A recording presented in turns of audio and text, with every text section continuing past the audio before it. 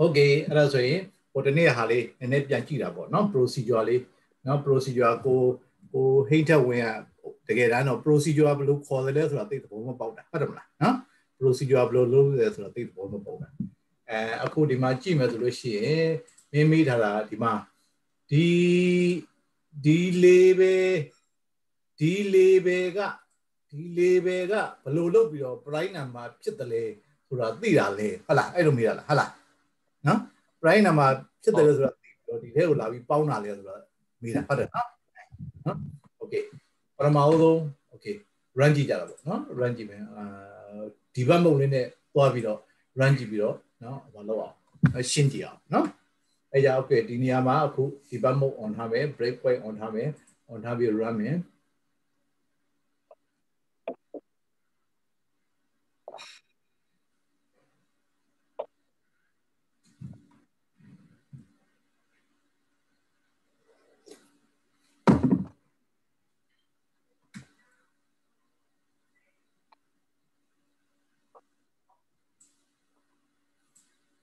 ဟုတ်လားမသိဘူးမှားမှားသွားပြီထင်တယ်ဘာလို့ လဲမသိဘူး text နော်ပြဆက်ဒါရီအော်ဟုတ်ဒါရီဘာလို့လဲလို့အာ visible force လို့လို့ okay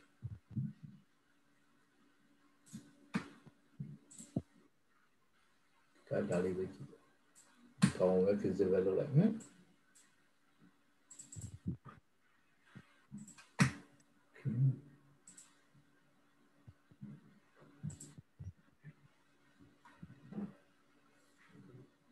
all right okay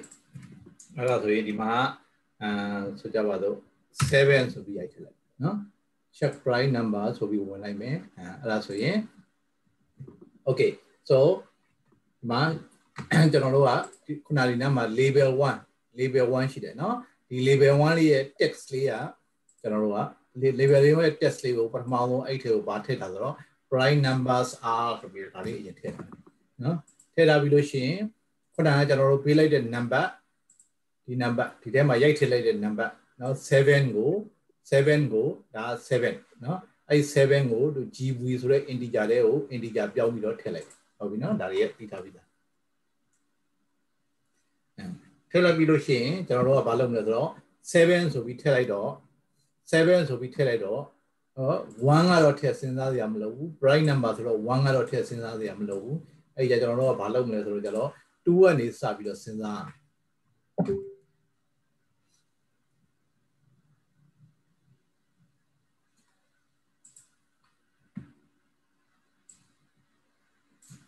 နော်2ကနေစပြီးစဉ်းစားမယ်။ဒါတရားကျွန်တော်တို့ဘာလုပ်ရမလဲဆိုတော့ကျွန်တော်နော် program မရေးခင်မှာကိုအရင်ချရေးရမှာ哦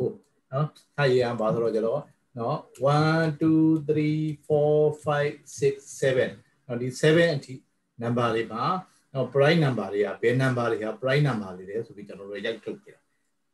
ရိုက်ထုတ်ကြဆိုတော့1ကတော့ဒါ prime number တွေထည့်စဉ်းစားရမလို့ဘူးတဲ့အဲကြတော့2ကနေပြီးစစဉ်းစားမယ်2ကနေပြီးတော့ခွန်ထိကို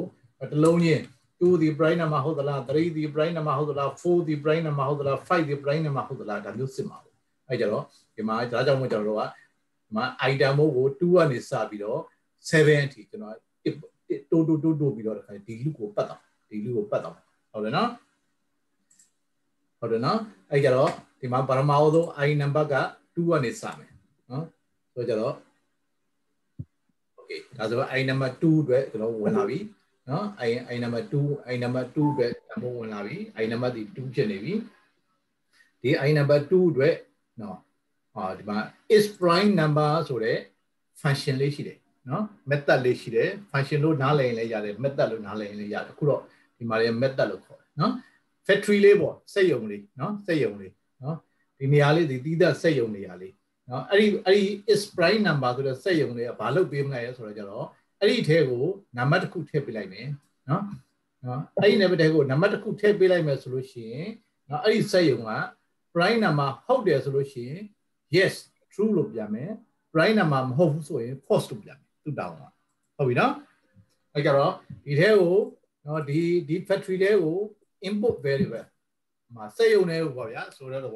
စက်ရုံထဲကိုဝင်လာတယ်စက်ရုံထဲကိုဗာထည့်လိုက်မလဲဆန်ထည့်လိုက်မယ်နော်ထွက်လာတော့じゃဘာထွက်လာတော့စဘာထွက်လာတယ်အဲ့ဒါလိုပေါ့ဟုတ်ပြီနော်ဒီမှာလဲဒီစက်ယုံရှိတယ်အဲ့ဒီစက်ယုံတွေကို item မို့ထည့်လိုက်မယ်နော် item မို့ထည့်လိုက်မယ်ဆိုရင်ဒီစက်ယုံကဘာ return လုပ်မလဲဆိုကြတော့ ဒီ item မို့ဒီ price number home လို့ home မို့ကိုစစ်ပြီးတော့ true or false ကမို့ result ထွက်လာမယ်နော်အဲ့ဒီ result ကိုကျွန်တော်တို့ကဒီထဲကိုထည့်မယ်လို့ကျွန်တော်တို့ကပြောတာဟုတ်ပြီနော်အဲ့လိုပြောတာဆိုတော့ကြတော့ okay အဲ့ကြဒီမှာ item မို့လွတ်လိုက်ပြီ item မို့လက်မိခေါ်လိုက်ပြီဒါဆိုရင်ကျွန်တော်တို့ကဒီ procedure တွေကိုရောက်ဒီ method တွေကိုရောက်လာပြီနော်ဒီ method တွေကိုရောက်လာပြီနော်ဒီ method မှာဒီ method ရဲ့သဘောဒီ private static static ဆိုတာခဏထားခဲ့မယ် bool နော် boolean boolean ဆိုတာ true or false value နော်နော် logical value နော် true or false value ဒီ function ကနေပြီးတော့နော် true or false value return လုပ်မယ်လို့ပြောတာနော်ဒီ value ဒီဒီစက်ရုံကနေပြီးတော့ဘာလို့ဒီစက်ရုံကထွက်ရင်ဘာလုပ်မလဲဒီမှာစဘာထည့်လိုက်မယ်တဲ့သူပြောတာစက်ရုံထဲမှာနော်စဘာထည့်လိုက်မယ်တဲ့စဘာထည့်လိုက်လို့ရှိရင်ဒီစက်ရုံကကြိတ်ပြီးလို့ရှိရင်ဘာထွက်လာမလဲဆိုတော့ကျတော့နော်ဆန်ထွက်လာမယ်အဲ့လိုမျိုးပေါ့ဟုတ်ပြီနော်ဒီစက်ရုံတွေကိုထည့်လိုက်တဲ့ input parameter တွေပါတော့ integer တန်ဖိုးလေးတစ်ခုထည့်လိုက်မယ်နော် ထည့်လိုက်တယ်ဆိုလို့ရှိရင်ဒီစက်ရုံကဒီမှာစစ်ပြီးလို့ရှိရင်သူလှုပ်ရှားကြီးကလှုပ်ပြီးလို့ရှိရင် return လုပ်မှာဘာလဲဆိုတော့ကျတော့အဲ့ဒီထည့်လိုက်တဲ့ integer တန်ဖိုးဒီနော် true ပေါ့ prime number ဟုတ်တယ်ဆိုရင် true ဆိုပြီးတော့ return လုပ်မယ်မဟုတ်ဘူးဆိုရင် false ဆိုပြီးတော့ return လုပ်တယ်နော် return လုပ်မဲ့ပဲလို့ဒီ boolean value return လုပ်မယ်လို့ပြောတယ်ဟုတ်ပြီနော်ဒီ function ရဲ့သဘောလေးကဲအဲ့ကြတော့ဒီထဲကိုဝင်လာပြီနော်ပြီးဒီကထည့်လိုက်တဲ့ item မိုးလေးကဒီထဲကိုခုနစဘာတွေဟိုဝယ်ကြိတ်ချင်တဲ့လူကပါတော့ဝိုင်းနဲ့ ဟိုကားကြီးနဲ့တိုက်လာတာတိုက်လာတဲ့အဲ့ကားကြီးနဲ့တိုက်လာတဲ့ဟာတွေကိုကျွန်တော်တို့ကပါစက်ယုံနဲ့ကိုစက်ယုံနဲ့မှရှိတဲ့ဇလားကြီးတွေကိုထည့်ရမှာဟုတ်အဲ့ကြဒါကပါတော့ဆိုတော့ဒါကငကူကဒါတိုက်လာတဲ့စဘာတွေစဘာတိုက်လာတဲ့စဘာတွေတိုက်လာတဲ့စဘာတွေကိုထည့်လိုက်တဲ့ဒီမှာပါတော့ဇလားတွေရောက်သွားတယ်အဲ့ဒါလိုမျိုးပေါ့နော်ဒါကပါတော့ခေါ်တဲ့နေရာကရှိတဲ့ variable ရဲ့တန်ဖိုးနော် variable ရဲ့တန်ဖိုး i နော်ဒီနေရာလေးမှာနော်ဒီနေရာလေးမှာ i ဆိုတဲ့နေရာလေးရှိတယ်နော် မှာ i ဆိုတဲ့နေရာလေး i i တန်ဖိုးလေးဒီပါဆိုတော့2ဆိုတာရှိတယ် i တန်ဖိုးလေးဒီမှာ i နဲ့ဒီနေရာလေး i တန်ဖိုးနေရာခွက်ကလေးလို့ပြောတယ်အဲ့ဒီမှာ2ရှိတယ်နော်အဲ့ဒါကိုဒီထဲကိုလှမ်းခေါ်လိုက်တဲ့အခါကျတော့ဘာဖြစ်လဲဆိုတော့ဒီနေရာကိုကျတော့သူကအဲဒီဆက်ယုံထဲမှာကျဒီနေရာကိုဘာလို့ p လို့ခေါ်တယ်နော် p p ထဲကိုဘာလို့2ရောက်သွားမှာဘောပေါက်လားဟုတ်ပြီနော်နော်နော်ဒီထဲရဲ့တန်ဖိုးကိုဒီထဲကိုရောက်လာအဲ့ဒီ p လေးကိုသူ prime number ဟုတ်မဟုတ်ကိုစစ်မှာဟုတ်ပြီနော် prime number ဟုတ်မဟုတ်စစ်မှာ အဲ့ဒါဒီမှာ p ကိုဘာလုပ်မလဲဆိုတော့ကျတော့ p ကိုနှစ်နဲ့စားပြီးတော့ n နဲ့ကိုထည့်မယ်နော် n တန်ဖိုးရတယ်နော်နောက်ပြရင် is prime ဆိုတာကို prime number ဟုတ်မဟုတ်ကိုနော် initialize လုပ်ထားမယ် prime number ဟုတ်တယ်ဆိုရင် true လို့ပြောမယ်မဟုတ်ဘူးဆိုရင် false လို့ပြောမယ်အဲကျွန်တော်တို့က prime number တွေကိုဒီ prime number ကိုစစ်ကြည့်မယ်နော်တစားကြည့်မယ် prime number ကိုနော် number တွေနဲ့စားကြည့်မယ်တကယ်လို့ prime number ဟုတ်တယ်ဆိုရင်မဟုတ်ဘူးဆိုရင် false လို့ထည့်နော်ဟုတ်တယ်ဆိုရင် ဟို false မဟုတ်သေးရင်ကြော်သွားမယ်နော် false မဟုတ်သေးတခုခုနဲ့စားလို့ပြတ်ရင်မဟုတ်တော့ဘူးနော်တခုခုနဲ့စားလို့ပြတ်ရင် prime number မဟုတ်တော့ဘူးအဲကြောင့်မလို့စားလို့ပြတ်တယ်ဆိုရင်ကျွန်တော် false လို့ပြောလိုက်စားလို့မပြတ်ဘူးဆိုရင်တခုနဲ့မှမပြတ်ဘူးဆိုရင် original value true ဖြစ်နေတာပေါ့ဟုတ်ပြီနော်အဲ့ဒီသဘောနဲ့ initially မှာ true ထည့်တာ true ထည့်လာပြီးတော့ပြီးချင်းရေတမိုးအဲခုန prime number ရှာချင်တဲ့ကောင်ကြီး7ဆိုရင်သူ့တစ်ဝက်တီနော်သူ့တစ်ဝက်တီကျွန်တော်တို့ကနေပြီးတော့ number တွေနဲ့စားကြည့်မယ်တစ်လက်စီတစ်ပတ်စီလှည့်ပြီးတော့စားကြည့်မယ်ဟုတ်ပြီနော်စားကြည့်မယ်အဲ့ဒီမှာနော်ပီတာမိုးကိုနော်ဒါ prime number ရှာချင်တဲ့ကောင်ရဲ့နာမကိုဒါနော်ဒီမှာ J တန်းမို့နှစ်ကနေစပြီးတော့2 3 4 5စသဖြင့်နော်တလုံးချင်းလိုက်ပြီးစားကြည့်မယ်ပြတ်တယ်ဆိုလို့ရှိရင် false ထည့်မယ်နော်ပြတ်တယ်ဆိုရင် false ထွက်ပြီးဆက်စစ်စရာမလိုတော့ဘူးတခါလေအဲ့ဒီမှာရက်လိုက်တော့နော်နော်စားလို့ပြတ်တယ်ဆိုရင်မပြတ်ဘူးဆိုလို့ရှိရင်ဆက်ပြီးစားမယ်ဟုတ်တယ်နော်ဒီလူသဘောပေါက်တယ်နော် နော်ဒီလူကိုဒါဟိုတနေ့ရှင်းထားပြီးသားအဲ့ကြတော့ရန်ကောင်ကနေပြီးတော့တကယ်လို့နော်စားလို့ပြတ်တယ်ဆိုလို့ရှိရင် is prime ရဲ့တန်ဖိုးဒီ false ဖြစ်တယ်စားလို့မပြတ်ဘူးဆိုရင်တခုနဲ့မှမပြတ်ဘူးဆိုရင်ဒီလူပြက်တစ်ခါမှမဝင်ဘူးနော်ဒီလူပြက်ကို holy if ကိုတစ်ခါမှမဝင်ဘူးတစ်ခါမှမဝင်ဘူးဆိုလို့ရှိရင်ဒီ is prime က original value true ပဲကြတယ်နော်အဲ့ကြဒီကောင်မှာ true ပြတယ်ဟုတ်ပြီနော်အဲ့ကြဒီကောင်ဒီ prime number ဟုတ်တယ်ဆိုရင် true လို့ပြန်မယ် prime မှာမဟုတ်ဘူးဆိုရင် false လို့ပြန်ဒီ factory ကနေပေါ့ အဲပြန်လာပြီပြန်လာပြီဆိုတော့ကြာဒီထဲကိုပါတော့ပြန်လာပြီဆိုတော့အဲ့ပြန်လာတဲ့ value ကိုကျွန်တော်ပါတယ်ပေါ့ is prime num ဆိုတဲ့နေရာလေးထဲမှာနော်ထည့်လိုက်မယ်ထည့်လိုက်ပြီလို့ရှိရင်နောက်တစ်ရောင်းကဘာလုပ်မလဲဆိုတော့ကြာ if is prime num ဟာ true ဖြစ်တယ်ဆိုရင်ဟောတွေ့လားနော်နော် is prime num ကဘာလို့ခုနစစ်လိုက်တာဟာဒီ factory ကနေပြီးတော့ prime num မှာဟုတ်မဟုတ်ကိုစစ်ပေးလိုက်တာဟုတ်တယ်လို့ပြောရင်ဒီ factory ကိုလက်ဖို့ပဲပြောတာပြေးကြဝင်နားလဲလား နော်သဘောသဘောပေါက်တယ်ဆရာဟမ်သဘောပေါက်ပြီဆရာအေး prime number ဟုတ်မှဒီ factor ကိုလန့်ခေါ်ပါလေ prime number မဟုတ်ဘူးဆိုရင်ဒီ factor ကိုလန့်မခေါ်ဘူးလန့်မပို့တော့ဘူးဘောပေါက်လားဒီ factor ကဘာလုပ်ပေးမှာလဲဒီ factor ကအဲ့ဒီ prime number လေးကိုဟောဒီ label တွေကိုလာပြီးပေါင်းပေးပါဘောပေါက်လားဟုတ်ပြီနော်အဲ့ရဒီ prime number ဒီဒီ factory ဒီ prime number ဟုတ်မဟုတ်ကိုသူနားမလဲဘူးဟုတ်ပြီနော် prime number ဟုတ်မဟုတ်ကိုစစ်ပေးတာဒီ ဒီ factory ကစစ်ပေးတာဟုတ်ပြီနော်ဒီ factory ကစစ်ပေးတာပြန်လာတယ် prime number ဟုတ်တယ်ဆိုရင်ဒီ factory ကိုဆက်ပြီးပို့ပဲဟုတ်တယ်နော်ဒီ factory ကိုဝင်သွားတယ်ဝင်သွားတဲ့အခါမှာအဲ့ဒီ prime number လေးရဲ့တန်ဖိုးကိုဒီ label 1ရဲ့နောက်မှာလာပြီးတော့သူဆက်ပြီးပေးလိုက်ဘောပေါက်လားဘောပေါက်ပြီနော်သဘောပေါက်တယ်ဆရာအေးဟုတ်ပြီအဲ့ဒါဆိုဆက်သွားလို့ရပြီလား โอเคဒီမှာ prime number စစ်တယ်ဒါ prime number စစ်တာအထူးအသေးစိတ်မရှင်းတော့ဘူးဟိုတနေ့ကနားလည်ပြီးသားเนาะအဲ့ဒီမှာပြန်လာပြီဒီမှာပြန်လာပြီဆိုရင်ကြည့်လိုက်ရင် is prime none ဒီ true လို့ဖြစ်တယ်เนาะ i တန်းမို့ i တန်းမို့ခုနဘလောက်ပို့လိုက်တာ i တန်းမို့က2 2ပို့လိုက်တာ2ပို့လိုက်တာဒီ prime number ဒီ2ဒီ prime number ဟုတ်လားဟုတ်တာပေါ့เนาะ2ကို သူနဲ့ရလွယ်ပြီးကျန်တဲ့နံပါတ်နဲ့ဘယ်သူနဲ့မှစားလို့မရဘူးအဲကြ true ဖြစ်တယ် true ဖြစ်တယ်ဆိုလို့ရှိရင်အဲ့ဒီဒီ factory ကိုလှမ်းပြီးပို့လိုက်မယ်တဲ့သူက true ဖြစ်မှ factory factory ကိုရောက်မှာနော်အဲ့မှာကြည့်ကြည့်လိုက်ရင်နော်ဟောဒီမှာ true ဖြစ်တဲ့အတွက်ဒီကောင်ကိုရောက်လာတယ်နော်ဒီ label တွေကိုအဲခုနက original ရှိတဲ့ value ဒီ label ရဲ့ original value တွေကိုအခုအသစ်ဝင်လာတဲ့ကောင်ဒီ prime value ရဲ့တန်ဖိုးကိုပေါက်ထည့်ပေးလိုက်ဟုတ်ပြီလားနော် okay အာ နောက်တစ်ခါအိုင်နမိုးတစ်တိုးမယ်အိုင်နမိုး3 3ကိုလည်းစစ်လိုက်ရင်နော်ဒီမှာအခုကျွန်တော်တို့ကဒီတလက်အခုတကြောင်ချင်းတကြောင်ချင်းတကြောင်ချင်းသွားတယ်နော်ဟုတ်ပြီနော် F ဒီမှာတကြောင်ချင်းတကြောင်ချင်းကြောင်ချင်းတွက်တယ်နော်ခုန F11 လို့ပြောလိုက်ရင်ဘာဖြစ်မလဲခုဒီနာဒီနေရာကနေပြီးတော့ကျွန်တော်တို့ကနေပြီးတော့ဒီထဲကိုခုံဝင်သွားတယ်ဟုတ်တယ်နော်ဒီကောင်ဒီသဘောပေါက်ပြီးသားဒီ procedure ဒီသဘောပေါက်ပြီးသားသဘောပေါက်ပြီးသားဆိုဒီကောင်ကိုမကြည့်ကျင်တော့ဘူးဒီထဲကအတိုင်းပဲသွားတော့မယ်ဆိုရင် F10 နဲ့သွားလို့ရတယ် ဟုတ်ပြီနော်ဒီထဲကိုအသေးသေးဝင်ပြီးတော့ဒီထဲပဲသွားမယ်ဆိုရင် F10 နဲ့သွားလို့ရတယ်နော်ဒီမှာဒီဘက်ကိုကြည့်လိုက်ရင်မပြောထားလဲဆိုတော့ကြတော့ F10 က F F11 ဆို step into နော်နော် I want to go into this procedure နော် F11 ဟုတ်ပြီနော်ဒီမှာ F10 ဆိုလို့ရှိရင်ဘာပြောလဲဆိုတော့အာ step over နော် step over ဆိုလို့ကြတော့ဘာပြောတော့ဒီထဲကိုမဝင်တော့ဘူးတဲ့ဒါကိုဒီတိုင်းပဲတွက်သွားပါလေဒီထဲမှာပဲဒီကြောင်းကြီးကြောင်းကြီးတွက်သွားပါလေဟုတ်ပြီနော် ဒါဆိုရင် F10 နဲ့သွားလို့ရတယ်ဟို F10 လို့ကြည့်လိုက်အော် F10 ဆိုရင်တွေ့လားဒီထဲကိုဝင်သေးလား is prime number တွေဝင်သေးလားဝင်တော့ဟုတ်ပြီနော်နော်ဒီမှာ result ထွက်လာတယ် is prime ဒီ true true ပဲဖြစ်တယ်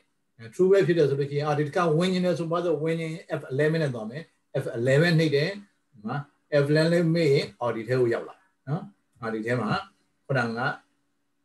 3ကိုဒီထဲမှာတစ်ခါထပ်ပြီးလာပြီးပေါင်းတယ်ပြန်ထွက်တယ်နော်အဲ ရောက်လာပြီတစ်ခါ item ကိုတစ်ခါတစ်တိုးမယ် item 4ကိုနော် item 4ကိုတစ်ခါ bright number ဟုတ်သလားဆိုပြီးစစ်လိုက်တယ်ဒီမှာ bright number အော်မဟုတ်ဘူးတဲ့မဟုတ်ဘူးဆိုရင် bright number မဟုတ်ဘူးဆိုရင်ဒီကောင်ကိုခေါ်မလားဟောဟုတ်ပြီးတော့ဝင်မခေါ်ဘူးမခေါ်ဘူးခေါ်ဦးနော်နားလည်နော်ဟုတ်ပြီနော်ဒီကောင်လေးဒီဒီနောက်ကဒီ if နောက်က statement ဒီ if နောက်က statement ဒီဟောပြောဒီထဲ condition သူက true ဖြစ်မှသူကခေါ်မှာဟုတ်ဟုတ်တယ်မလားနော်အဲ့ကြဒီမှာ is prime number ဒီ false ဖြစ်နေတော့ false equal to false ဆိုတော့ကြ false equal to true ဆိုကြမှန်လား false equal to true ဆိုရင်မထွက်မလဲ false ထွက်မယ်ဟုတ်ပြီနော်နော် false ထွက်မယ် false ထွက်ရင်ဒီကောင်အလုံးမလုံးတော့ဘူးပေါ့ဟုတ်ကြည့်ဟောကြော်သွားပြီဟုတ်ပြီနော်ကြော်သွားပြီဒါကြောင့်မလို့ဒီ for ကိုတော့ခုနကခုနကဒီထဲကိုလာပြီးတော့ အဲခုနဒီထဲကိုလာပြီးမပေါင်းတော့ဘူးဟုတ်ပြီနော်အဲ့လိုလုပ်လို့အာဒါဆိုလို့ရှိရင်ကျွန်တော်2357နံပါတ်တွေရဟုတ်ပြီနော် all right okay အဲ့ဒါဆိုရင်ကဲဒီနေ့ very fresh topic နော် very interesting and very fresh topic database စာနော် database database install လုပ်လို့အဆင်ပြေကြလားပြပါလေပြေတယ်နော်ဟုတ် nick အဆင်မပြေဘူးဟုတ်လားဟုတ်လားမင်း windows XP ဖြစ်နေတာ windows XP ဖြစ်နေတာဆိုတော့ကြတော့မင်းမုံရွာမှာ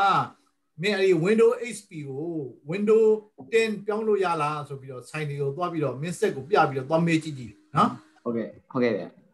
သွားမေးကြည့်လို့ပြောင်းလို့ရတယ်ဆိုလို့ရှိရင်မင်းတို့ Windows 10ပြောင်းလိုက်ဟုတ်ပြီနော်ဟုတ်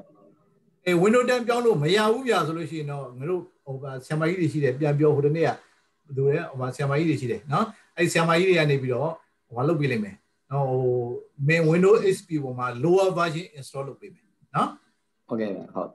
အဲ့ကြတော့ဖြစ်နိုင်ရင်တော့ Windows 10ကိုပြောင်းလို့ရလားလို့သွားမေးပြီးတော့တော့သွားပြောင်းကြည့်လိုက်အောင်နော်ပြောင်းတော့ပြောင်းကြည့်ပြောင်းလို့ရတယ်ဆိုလို့ရှိရင်တော့ပြောင်းလိုက်ပေါ့နော်ပြောင်းလို့မရဘူးဆိုမှမလို့မလုပ်မလဲဆိုတော့ကြတော့ဒီ Windows XP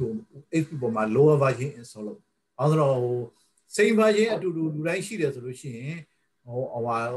ဟာဟိုဟိုလို့ဟိုဟိုလောက်ရတာလွယ်တာပေါ့နောက်ပိုင်းကျရင်ကာယံမတော်လို့ရှိရင်တနေရာရောက်လို့ရှိရင်မတူရင်တနေရာရရင်ဟိုထစ်နေမှာဆိုနော်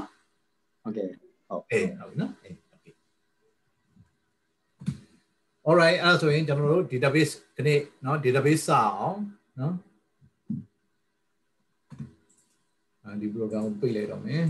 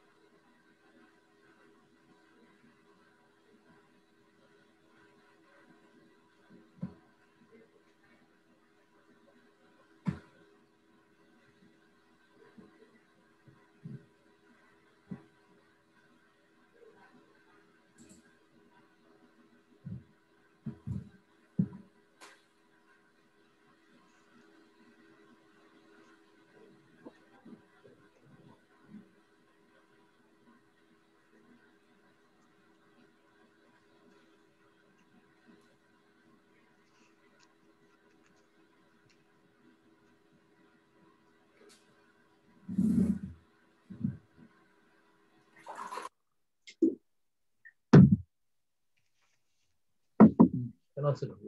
လို့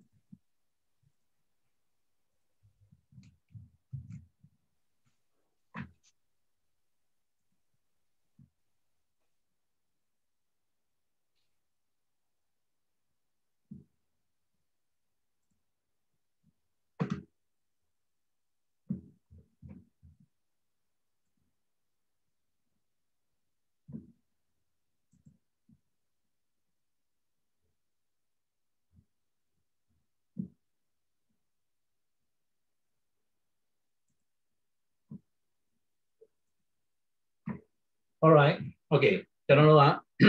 ဟို database ဆဲကိုเนาะကျွန်တော်တို့ဒီ database database database ကိုဝင်လာဟိုတနေ့အားလုံးဒီ screen ပေါ်ဝင်ပြီးပါပြီเนาะဒီ database ကိုဝင်လိုက်ရင်ဒီမှာ database SQL SQL Server Management Studio เนาะ SQL Server Management Studio တွေကိုရောက်လိုက်လို့ရှိရင် SQL Server Management Studio ဆိုတာဘာလဲဆိုတော့ကျတော့ SQL server တွေကို manage လုပ်တဲ့ program နော်အဲ့ SQL server management studio မှာကျွန်တော်တို့က SQL server တွေရှိသလောက် SQL server အများကြီးရှိလို့ရတယ် SQL server တွေကို manage လုပ်လုပ်ချင်တယ်ဆိုရင်ဒီ program နဲ့ manage လုပ်လို့ရတယ်နော်နော် SQL server ဆိုတာဘာလဲဆိုတော့ database နော် database ဆိုတာလွယ်လွယ်ပြောလို့ရှိရင် data တွေသိမ်းထားတဲ့နေရာနော်ကျွန်တော်တို့က program တွေရေးတယ်ဆိုလို့ရှိရင်ကျွန်တော်တို့ကနော် data တွေသိမ်းထားကြမလို့ဘူးလားလို့တယ်ဟုတ်ပြီနော် data တွေအများကြီးကိုသိမ်းထားမယ်ဆိုလို့ရှိရင်ကျွန်တော်တို့ကစနစ်တကျသိမ်းထားဖို့လိုတယ်ဥပမာဆိုကြပါစို့ကျွန်တော်တို့အိမ်မှာနော်အမေစင်းစာစင်းရောင်းတယ်ဗျာဈေးရောင်းတယ်နော်ဈေးရောင်းတယ်ဆိုလို့ရှိရင်ဟာပောက်ကရမှတ်လို့ရှိရင်ဟာတခါလေပောက်ကရအကုန်လုံးဟောဖြစ်ကုန်မှာပေါ့အဲ့ကြအမေကဘာလုပ်တယ်ဆိုတော့ကြာတနေ့ရောင်းရဈေးရင်တနေ့အတူတူမမှတ်ဘူးလားမှတ်တယ်နော်နော်အကျွေးအကျွေးရရရှိတဲ့ဟာဆိုလို့ရှိရင်သူကစင်းရင်သက်သက်မှတ်မထားဘူးလားမှတ်ထားတယ်ဟုတ်ပြီနော် အကျွေးရပြီးဆိုလို့ရှိရင်တစ်လေးလုပ်ပြီးတော့ရပြီးဘယ်ကရတယ်ဆိုပြီးမှတ်မထားဘူးလားမှတ်ထားတယ်နော်အဲ့ဒါမဟုတ်ဘူးဆိုလို့ရှိရင်လည်းဟိုပေါ့ဟိုပေါ့ဟိုဆန်ဆန်ရောင်းရစေဆန်ရောင်းရငွေကဆန်ရောင်းစင်းကဆန်ရောင်းစင်းသက်သက်ထားတယ်စီရောင်းစင်းကစီရောင်းစင်းသက်သက်ထားတယ်ကျက်သွန်ရောင်းစင်းကကျက်သွန်ရောင်းစင်းသက်သက်ထားတယ်သတ်သဖြင့်နော်သူ့ရဲ့ကျွန်တော်တို့စနစ်တကျလေးကျွန်တော်တို့ကစက်ဟိုပါလေးကို စည်ရင်းတွေကိုကျွန်တော်စနစ်တကျမှတ်ထားဖို့လို့ data တွေကအများကြီးကျွန်တော်တို့သိမ်းပါဟုတ်နော်အဲ့ကြတော့ရှားပြီးတော့လွယ်အောင်စနစ်တကျသိမ်းမှုလိုတယ် data တွေအဲ့ကြကျွန်တော်တို့ရဲ့ computer ထဲမှာ data တွေကိုစနစ်တကျသိမ်းမှုရအတွက်ကျွန်တော်အခုချိန်မှာအကောင်းဆုံး system ကတော့ database နော် database management system လို့ခေါ်တယ်နော် database management system လို့ခေါ်တယ်ဟောဘာလို့ခေါ်ဆိုတော့ DBMS DBMS DBMS MS နော်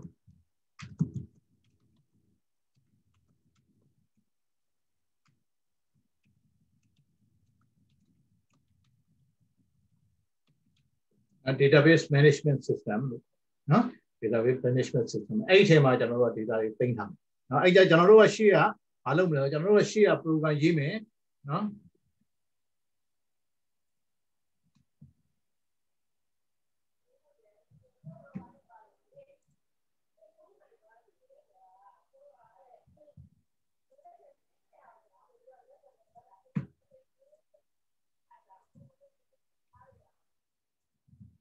အဲကျွန်တော်တို့ကကျွန်တော်တို့က program ရေးမယ်ဆိုကြပါစို့ဗျာဒါကကျွန်တော်တို့ရေးတဲ့ program ဒါကျွန်တော်တို့ program နော်ကျွန်တော်တို့ဒီမှာ program တွေရေးမယ် program တွေရေးမယ် program တွေရေးပြီးလို့ရှိရင်ကျွန်တော်တို့က data သိမ်းစရာရှိတယ်ဆိုရင်တော့ကျွန်တော်တို့ကမလုပ်နဲ့ဆိုတော့ database ထဲမှာသွားပြီးသိမ်းတယ်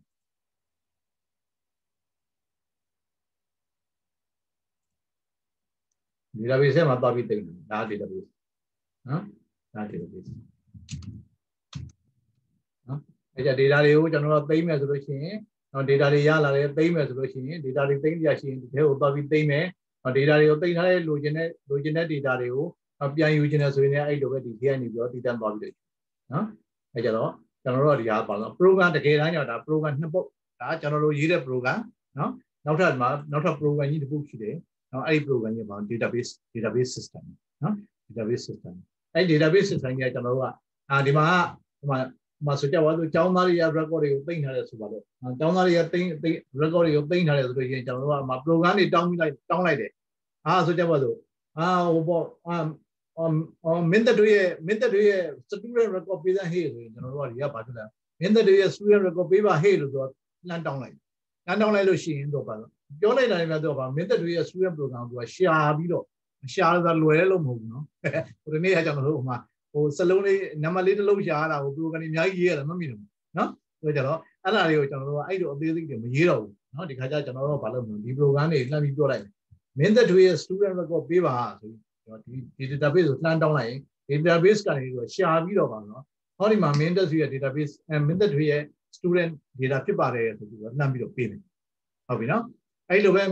မဆိုပြ Nick ရဲ့ student record ကိုဒီမှာကျွန်တော်တို့ computer screen ကနေပြီးတော့ computer ကနေပြီးတော့ကျွန်တော်တို့ရဲ့ program နေပြီးတော့အာဒါဟို student record တွေ read လုပ်မယ် read လုပ်ပြီးလို့ရှိရင်အမ Nick ရဲ့ student record တွေ read လုပ်လိုက်တယ် read လုပ်ပြီးလို့ရှိရင်အဲ့ဒါကို database ကိုသိမ်းပါလို့ပြောတယ်အဲ့အဲ့ record သိမ်းထားလိုက်စမ်းပါလို့ပြောရင်ပါအဲ့ database ကသိမ်းထားလိုက်တာပဲဟုတ်ပြီနော်သိမ်းထားလိုက်တာပဲလောလောကူကူသူကနေပြောတောင်းနေအများကြီးအများကြီးအများကြီးဒီ database management system ကြီးအင်တန်ကို powerful ဖြစ်ပါတယ်နော်နော်အရင်ကိုအလုပ်ကျွန်တော်တို့အလုပ်တွေကိုအရင်လွယ်စီတယ်နော် ဒီ database management system ဒါကြောင့်အခုချိန်မှာ program ရေးမယ်ဆိုရင်ဒီ database manage database system ကိုတော့ပိုင်နိုင်မှုလိုတယ်လို့အာပိုင်နိုင်မှုလိုတယ်ပေါ့နော်အဲကြတော့ကျွန်တော်တို့ကဒီက database ကနေပြီးပိမဟေးလို့ပြောလိုက်တာလည်းပိလိုက်တယ်နော်အာပြန်ပေးပါဟေးဆိုလို့ပြောလို့ရှိရင်ဒီမှာပြန်ပြီးတော့ရှာပြီးတော့ပေးနော်အဲကြဟာတခါဒီထဲကိုမှားသွားတယ်ဟေး nick ရဲ့ဟို date of birth မှားသွားတယ်ကွာနော်75မဟုတ်ဘူး77ပြင်လိုက်ပါအောင်လို့ပြောလိုက်တယ်ပြင်လိုက်ပါအောင်လို့ပြောလိုက်တယ် အဲတခါလေးပြင်လိုက်တယ်နော်ပြင်လိုက်ပါအောင်လို့ပြောလိုက်တာလည်းမြတ်သူကနေပြီးတော့ယူပြီးတော့အာโอเคပါဆိုပြီးတော့သူကယူပြင်းတယ်ကျွန်တော်တို့အသေးစိတ်လုပ်ပြအောင်ဟုတ်ပြီနော်อืมအဲ့ဒီလိုမျိုးကျွန်တော်တို့ကတာဝန်ကိုခွဲဝေပြီးတော့နော် database ကိုသိမ်းတဲ့တာဝန်တွေရှာတဲ့တာဝန်တွေအသစ်ထဲတဲ့တာဝန်တွေဖြတ်တဲ့တာဝန်တွေ update လုပ်တဲ့တာဝန်တွေစသဖြင့်တာဝန်တွေကို database ကို systematic data တွေကို systematically ကျွန်တော်တို့ပူပြီးတဲ့သိမ်းပေးတဲ့ program database program အဲကျွန်တော်တို့ကကျွန်တော်တို့ကရှေ့က ကျွန်တော်တို့ကကိုလိုချင်တဲ့ program ကိုရေးရုံပဲ data သိမ်းရရှိရင်အဲ့ဒီထဲကိုလှမ်းပြီးတော့သိမ်းလိုက်သိမ်းမှဟေးလို့လှမ်းပြောလိုက်လိုချင်တဲ့ဟေးဆိုရင်ဒီ data လိုချင်တဲ့ဟေးဆိုလှမ်းပြောလိုက်ရင်သူကရှာပြီးဟုတ်ပြီနော်ဒါတော့သူကပါတော့အဲ့အဲ့တောင်း database ကို data တွေကို manage လုပ်တဲ့တောင်းကိုကနေပြီးလုပ်ဟုတ်ပြီနော်အဲအဲ့ဒါကိုကျွန်တော်တို့ကဘာလို့ခေါ်လဲဆိုတော့ကျတော့နော်နော် data database management system လို့ခေါ်တယ်နော် DBMS လို့ဟမ်အဲ့ဒီ DBMS ပါမှာရှေ့မှာကျွန်တော်ကအခါ R လုံးထပ်တယ် R relation နဲ့ RELATIONER relational database management system RBDMS လို့နော်အခုကျွန်တော်တို့သုံးနေတာလေသုံးနေတဲ့ database တွေအားလုံးဒီနော် not အကုန်လုံးအခုကျွန်တော်တို့သုံးမဲ့ database ဒီနော်ကျွန်တော်တို့က relational database management system လို့ခေါ်နော် data တွေကို relation မှာမူတည်ပြီးတော့ relation မှာအဓိကအခြေထားပြီးတော့စောက်ထားတဲ့အတွက် relational database management system လို့ကျွန်တော်ခေါ်တယ်နော်။ဘာကြောင့် relational ဖြစ်တယ်ဆိုတာကိုအခုပြောရင်ရှုပ်နေမယ်။နောက်သုံးပြီးတော့မှပို့ပြီးသဘောပေါက်နိုင်မယ်နော်။ဘာကြောင့် relational ဖြစ်တယ်လဲ very meaningful နော် very meaningful relational database management system ဒီ system ကိုတေချာလို့မှတ်မိဘူးကျွန်တော်လည်း Facebook အဟွာထဲမှာ Google ထဲမှာ share ကြည့်မှသိမယ်1975လောက်ကတင်တယ်ကျွန်တော်စပြီးတော့ အာ1975 80လောက်ကနေစပြီးတော့ IBM ကနေစပြီးရေးခဲ့တယ်အဲ့ဒီဟာဆိုရင်အခုချိန်ထိတခါလေဒီ industry ကျွန်တော် computer industry standard ဖြစ်ပြီးတော့အခုချိန်ထိနော် data database ကိုကျွန်တော်ပေါ့ဒီတိုင်းသုံးနေကြနော်ကဲထားပါတော့အဲ့ကြကျွန်တော်တို့ database ကိုကျွန်တော်ဘယ်လိုသုံးမလဲဆိုတော့စပြီးကြည့်အောင်နော်အဲ့ကြတော့ကျွန်တော်တို့ကဘာလုပ်မလဲဆိုတော့အခုအခုလောလောဆယ်ဒီကောင်ကိုပဲဒီ database ကိုပဲဒီနေ့အရင်ကြည့်ကြည့်နောက်နောက်နေ့ကျမှကျွန်တော်တို့ program နေပြီးတော့ ဟိုတနေ့ကဟို connection screen နဲ့သိမ်းထားပါဆိုပြီးတော့ဟိုပြောတယ်မလားသိမ်းထားရသေးလားဟို database install လုပ်တယ် တိန်းထားပါတယ်ဆရာ အဲသိမ်းထားတယ် okay တယောက်သိမ်းထားရင်ရပါပြီเนาะကို share လုပ်ပြီးသိမ်းကြတော့အတူတူပါပဲเนาะအဲကြတော့ okay အဲကြတော့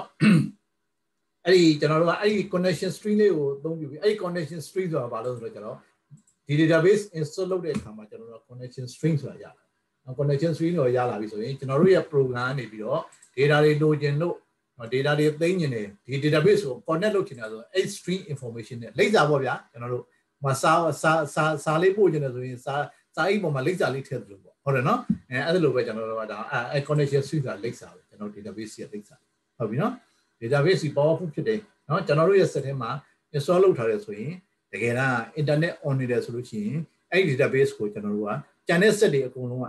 နော်လှမ်းပြီးတော့နော် internet connection ရှိတယ်ကျန်တဲ့စက်တွေအကုန်လုံးကလှမ်းပြီးတော့သုံးလို့ရတယ်နော် share လုပ်ပြီးလှမ်းပြီးသုံးလို့ရတယ်နော်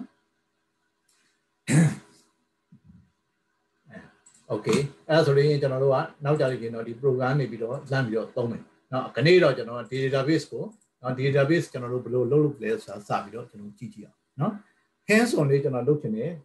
ဟိုပေါ်လုံရင်းနှလားသွားကြည့်အောင်နော်လုံရင်းနှလားသွားကြည့်အောင်အခုတော့ကွန်ပျူတာဟောဖြစ်လာလဲတော်တော်လေး ဟို used to ဖြစ်လာပြီဆိုတော့ကျွန်တော် hands on လုပ်လို့ရပြီလို့ယူဆတယ်အဲ့ကြတော့အခုကဲအဲ့ဒီ database တွေကိုဟော database install မလုပ်ရသေးတဲ့လူတွေရှိတယ်နော် install မလုပ်ရသေးတဲ့လူတွေကတော့ install မလုပ်ရသေးတဲ့လူတွေကတော့ screen ပေါ်မှာပဲကြည့်ပေါ့နော်ကျန်တဲ့လူတွေကကျွန်တော် hands on လေးနည်းနည်းလိုက်လုပ်ကြည့်အောင်နော်ကဲအဲ့ဒီ database system ကိုဝင်လိုက်ပါဗျာနော် database system ကိုဝင်လိုက်ပါအတန်လေးတွေ on ထားလို့ရပါတယ်เนาะတကယ်လို့ကိုယ့်ဘက်ကအသိဆူနေရင်တော့ပိတ်ထားလိုက်ပေါ့เนาะတကယ်လို့မဟုတ်ရင် အတန်လေးတွေ on ထားလိုက်တော့ communicate လုပ်လို့ရတော့ပေါ့နော်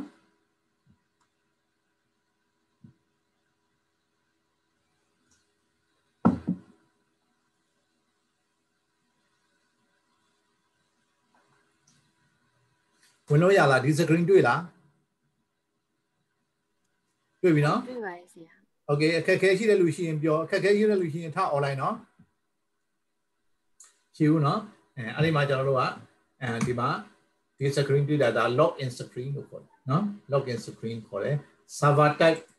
နော်အဲ့တော့ဒီမှာအမျိုးအမျိုးအများအမျိုးအများကြီးရှိတယ်ဒါကျွန်တော်တို့ရဲ့အခုစိတ်ဝင်စားသည့် database engine ကိုကျွန်တော်တို့က server type ဒီ database engine နော် server name server name မှာ .backslash/sql express နော်အဲ့လိုရေးထားတယ်နော်ဒီ dot ဆိုတာအဲ့ dot ဆိုတာ meaning ခုရှိတယ်အဲ့ dot လေးတစ်ခုอ่ะအဲ့ dot လေးကဒီဒီ computer လို့ပြောတယ် နော်ဒီ computer လို့ပြောတာနော်တကယ်လို့မဟုတ်ဘူးねတခြား computer ဆိုကြပါစို့နော်ကျွန်တော်ကဆိုကြပါစို့ nick ရဲ့ computer example ပြောတာနော် nick ရဲ့ computer ကိုဒီကနေလှမ်းပြီးတော့ဆက်သွယ်မယ်ဆိုလို့ရှိရင် double slash double backslash nick slash SQL Express ဒါမျိုးပြောမှာဟုတ်ပြီနော် example example နော်တကယ်ဒီဒီမှာကျွန်တော်တို့ကအခုကျွန်တော်ကွန်ပျူတာကိုကြည့်ရင်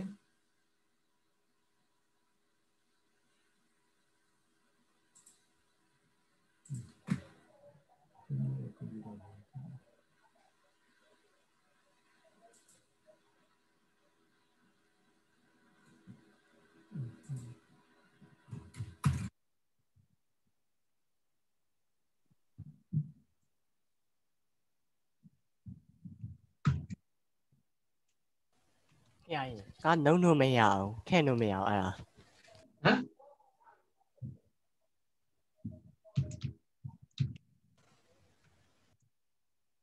ဟုတ်လားမရဘူးလားမရအောင်ခင်ဗျာဘာဖြစ်နေလဲရှာတိုင်းကြီးပေါ်လာတယ်ဟုတ်လားအဲ့ဒါဘယ်ဘယ်အောင်ထည့်ရင်ဒီ XQ အာစာပါဆိုအဲ extract ဆိုတာဟာလေထည့်လိုက်တယ် အော်မထည့်နဲ့ဟုတ်မထည့်နဲ့ဟုတ်မထည့်နဲ့ဟုတ်မထည့်နဲ့ဟုတ်မပြောင်းနဲ့ဟုတ်နော်နော်ဆရာက click လုပ်ဒါပြောင်း click လုပ်လို့ပြောမှပြောင်းနော်အခုက example ပဲရိုက်ပြတာနော်နော်အဲအဲ့ဒီမှာကိုဒီ computer name ကိုလိုက်ရှာတယ်လေဒီ computer name ပဲပြခဲ့ထားပါတော့ရှုံးနော်နော်ဒီနေရာဒီပြနေရာလို့ပြောလို့ရတယ်ဥပမာဆိုကြပါစို့ထားတော့ခင်ဗျာဒီနေရာလေးမှာ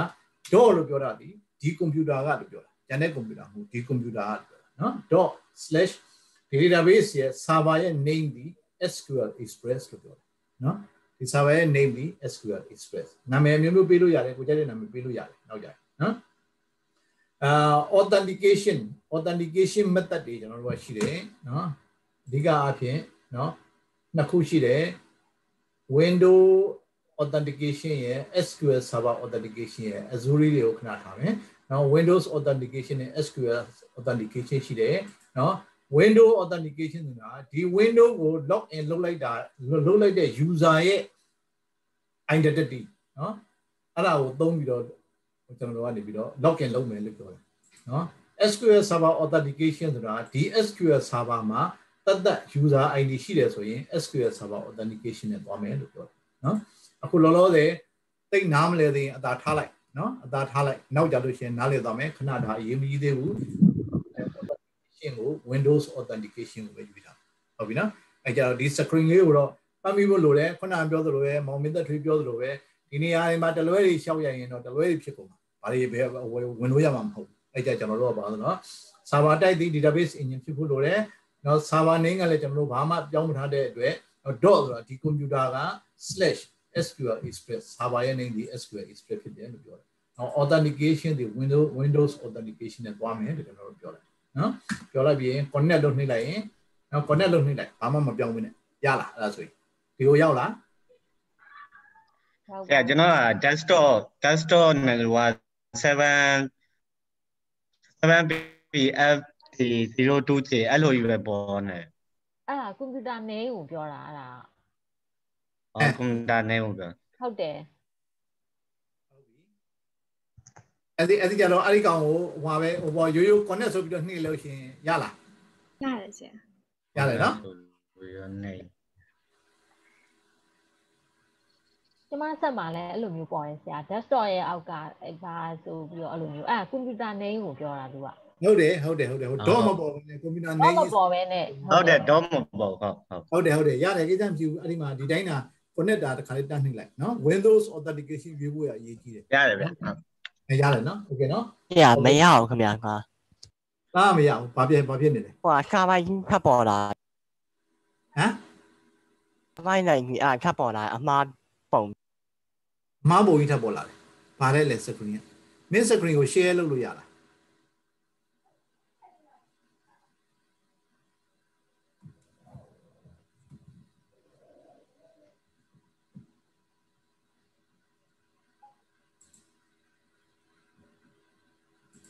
ပြရဒီမှာ share လို့မရဘူးတဲ့ share လို့မရဘူးလားခဏနေဦးပြရမယ်ပိ share တ်လို့ထားလို့တဲ့အဲ share လို့ရအောင်ဖွင့်လို့ရတယ်နော်ခဏလေးဘယ်လိုဖွင့်တာပါလဲအမ် allow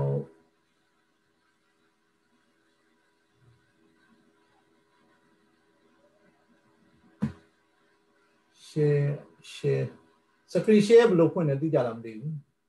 ဆရာစကွန်ရှယ်ဆရာဆရာဟောအရင်ဖြုတ်အောင်ပါဆရာဟုတ်လားကျွန်တော်ဟာရင်ပြောပါမှာ ဟုတ်ဆရာဟိုဆရာဟောဖြုတ်ပြီးမှအဲနောက်တစ်ယောက်ကတင်လို့ရပါဆရာ ပြင်လို့ရလားအော် screen တစ်ခုပဲ share လုပ်လို့ရလားဟုတ်လား ဟုတ်တယ်ဟုတ်တယ်ဆရာတစ်ခုပဲ share လို့ရတယ် အဲကျွန်တော်ဟာဘယ်လိုဖြုတ်မှာ အော်ဆရာအဲ့မှာ share မှာဆရာဟိုဖြုတ် stop ချောက်ရ share နေတယ်နော် stop share နော်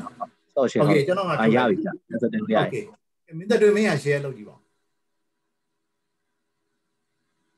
ရလား share လုပ်တတ်လား မရသေးဘူးဆရာဘာလို့ဆိုတော့ဆရာဥစ္စာ disable လုပ်ထားလို့ဆရာ host က enable လုပ်ပြရသေးတယ်ဆရာဟောဟုတ်ပြီအဲ့ဒါဆိုရင်ဟဲ့ဟဲ့နားနေနော်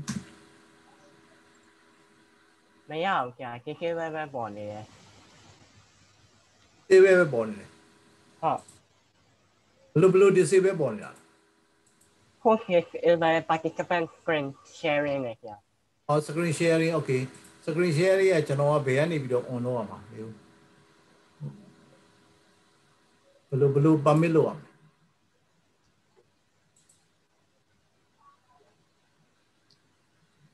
participant လေးလေးမှာလေအဲ့မှာဟို multiple ပါဆိုအဲ့ဒါလေးပါအဲ့ဒါနှိမ့်လိုက်အောက်ဆုံးဘာမှပါတော့ participant ဖွင့်လိုက်ရင်လေဟိုအဲ့ညားလေးကိုနှိမ့်လိုက်ပေါ်လာတယ်ဆရာ participant နှိပ်လိုက်ပြီးရင်ဟုတ်ပြီနှိပ်လိုက်ပြီးရင် အဲ့မှာအလဲ multi multiple participant အဲ့ဒီကောင်လေးကိုနှိမ့်လိုက် တော့ screen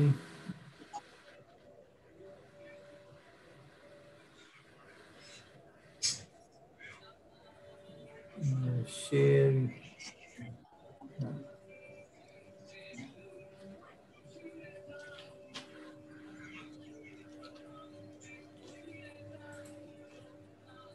screen sharing ကြီးနှိပ်ကြည့်ပါလားအဲ့မှာပါတော့တယ်ဟော့ဆိုတော့ကျွန်တော်တို့ဒီတော့မပါဘူး sharing optimize screen sharing once for that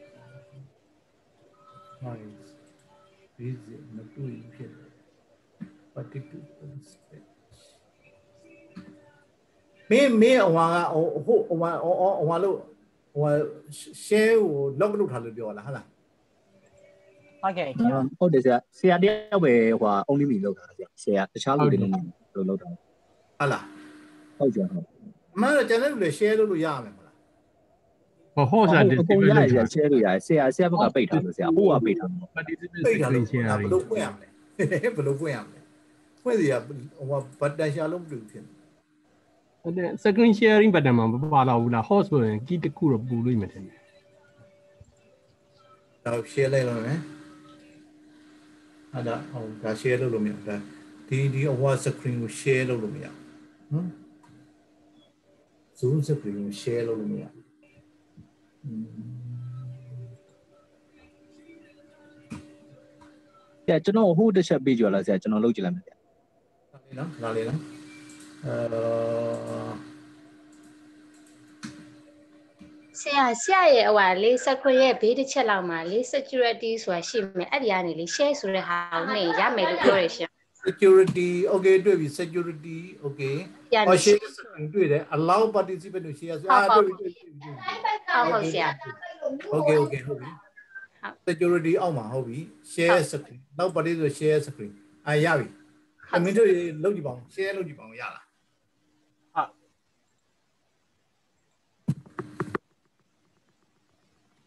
ခင်ဗျာဒါပေါ်နေတယ်အဲ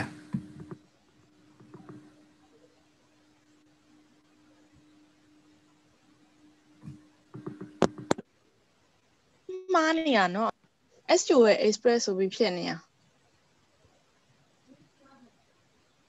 အဲ့ဒီက click okay လုပ်လိုက် click okay လုပ်လိုက်ဒီကောင်ဟုတ်ပြီအကောင်အဲ့ဒီအဲ့ဒီအဲ့ဒီကမှားတော့ S server name ကငကိုသူ့ server name ကပါလဲ အာ local kv mkh လို့ထည့်ထားတယ်ခင်ဗျာအဲအဲ့ဒီအဲ့ဒီ down arrow လေးနှိပ်ကြမှာ down arrow လေး down arrow လေးအောက်အောက်ကအောက်ကအဲအဲ့ဒီ down arrow ဆရာတွေဖြတ်ပြီးတော့ default ယူလိုက်ရင်အဲ့ဒီကောင် click လုပ်လိုက်အဲ့ဒီကောင် click လုပ်လိုက်အဲ့ဒီကောင် click လုပ်လိုက်အဲ okay connect အဲ့ခွင်တော့ချိန်လို့ရတယ်ခင်ဗျာလုပ်လို့ရတယ် okay အဲ့ဒါကိုရွေးလိုက်နော်အဲ okay နော်အဝါနဲ့ဟိုအဝါချင်းမတူလို့ version ချင်းမတူလို့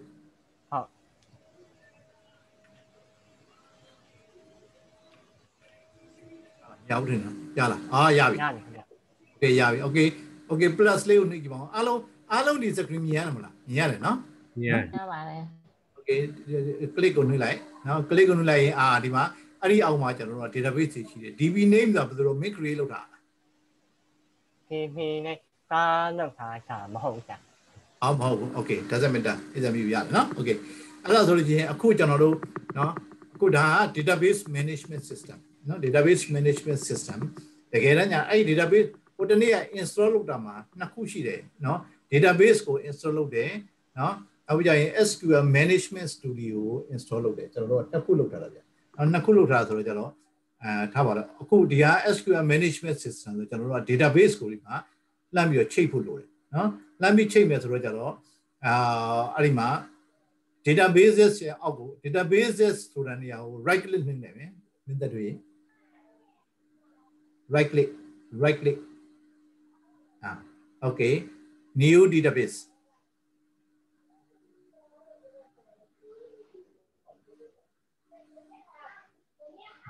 အဲဆိုရင်ကျွန်တော်တို့ကဘာပြောတာဆိုတော့ database အသစ် create database တစ်ခုအသစ် create လုပ်မယ်လို့ပြောတာဟုတ်တယ်နော်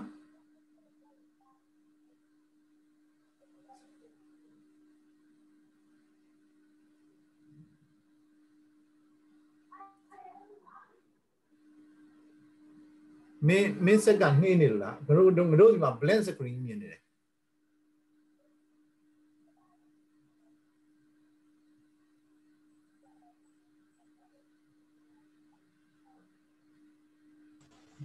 ဗျာဒီမှာလဲဟိုဟာဒီ window ကိုဖယ်ခိုင်းနေဗျာ Windows စစ်ပေးခိုင်းဟုတ်လားဘာကြီးပုံလဲဟိုဟာဒီ gigabit ကို right click နှိပ်ပြီး new gigabit နှိပ်လိုက်တော့ဟိုဟာ file file နံပါတ်ဟာတစ်ခုပေါ်လာတယ်အဲ့တော့ please move this window away from the share application နဲ့ sorry sorry can you repeat again please move this window away from the shared application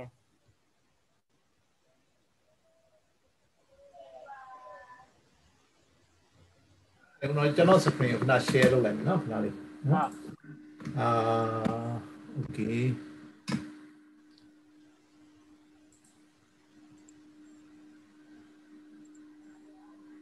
okay မင်းမင်း unshare လုပ်လိုက်မင်း unshare လုပ်လိုက်မင်း stop sharing လုပ်လိုက်နော်ဟုတ်လုံးထားလိုက်ဗျာခုနကပြသား okay okay အခုကျွန်တော် screen တွေ့ပြီနော် okay ဟုတ်ပြီတွေ့ပြီဆိုလို့ရှိရင် okay hands on hands on ကနေစလုပ်တာဆိုတော့နည်းနည်းလေးသိကြီးခံကြည့်ပါနော်အဲကြတော့ကျွန်တော်တို့ database ရှိတယ်နော်အဲ့ဒီ database ရဲ့အောက်မှာကျွန်တော်မှာတော့အများကြီးရှိတယ်နော်အဲ database ရဲ့အောက်မှာဒါကျွန်တော် create လုပ်တဲ့ database ပေါ့အများကြီးပဲနော်အများကြီးရှိတယ် အဲ့ဒီမှာကျွန်တော် database အသစ်တစ်ခု create လုပ်ချင်တယ်ဆိုလို့ရှိရင်အားလုံးမှာအဲ့ဒီမှာခုနပြောသလို database ကို right click နှိပ်လိုက်မယ်နော် right click နှိပ်လိုက်ပြီးကျွန်တော်တို့က new database လို့ကျွန်တော်တို့ပြောလိုက်နော် new database လို့ပြောလိုက်ရင်အာဒီ screen ထွက်လာမယ်ဒီ screen ထွက်မလာဘူးလားဟာလာမင်းသက်တွေဟ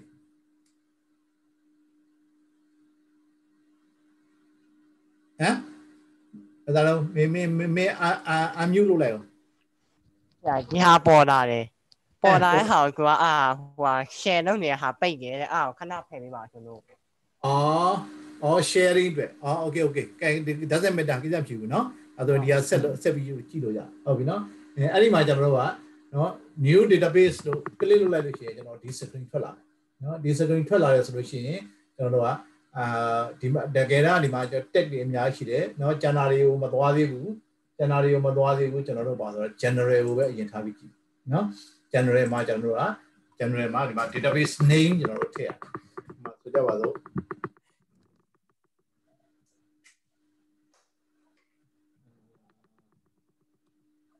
စီအက်စီရှပ်ပေါ့ဗျာစီရှပ်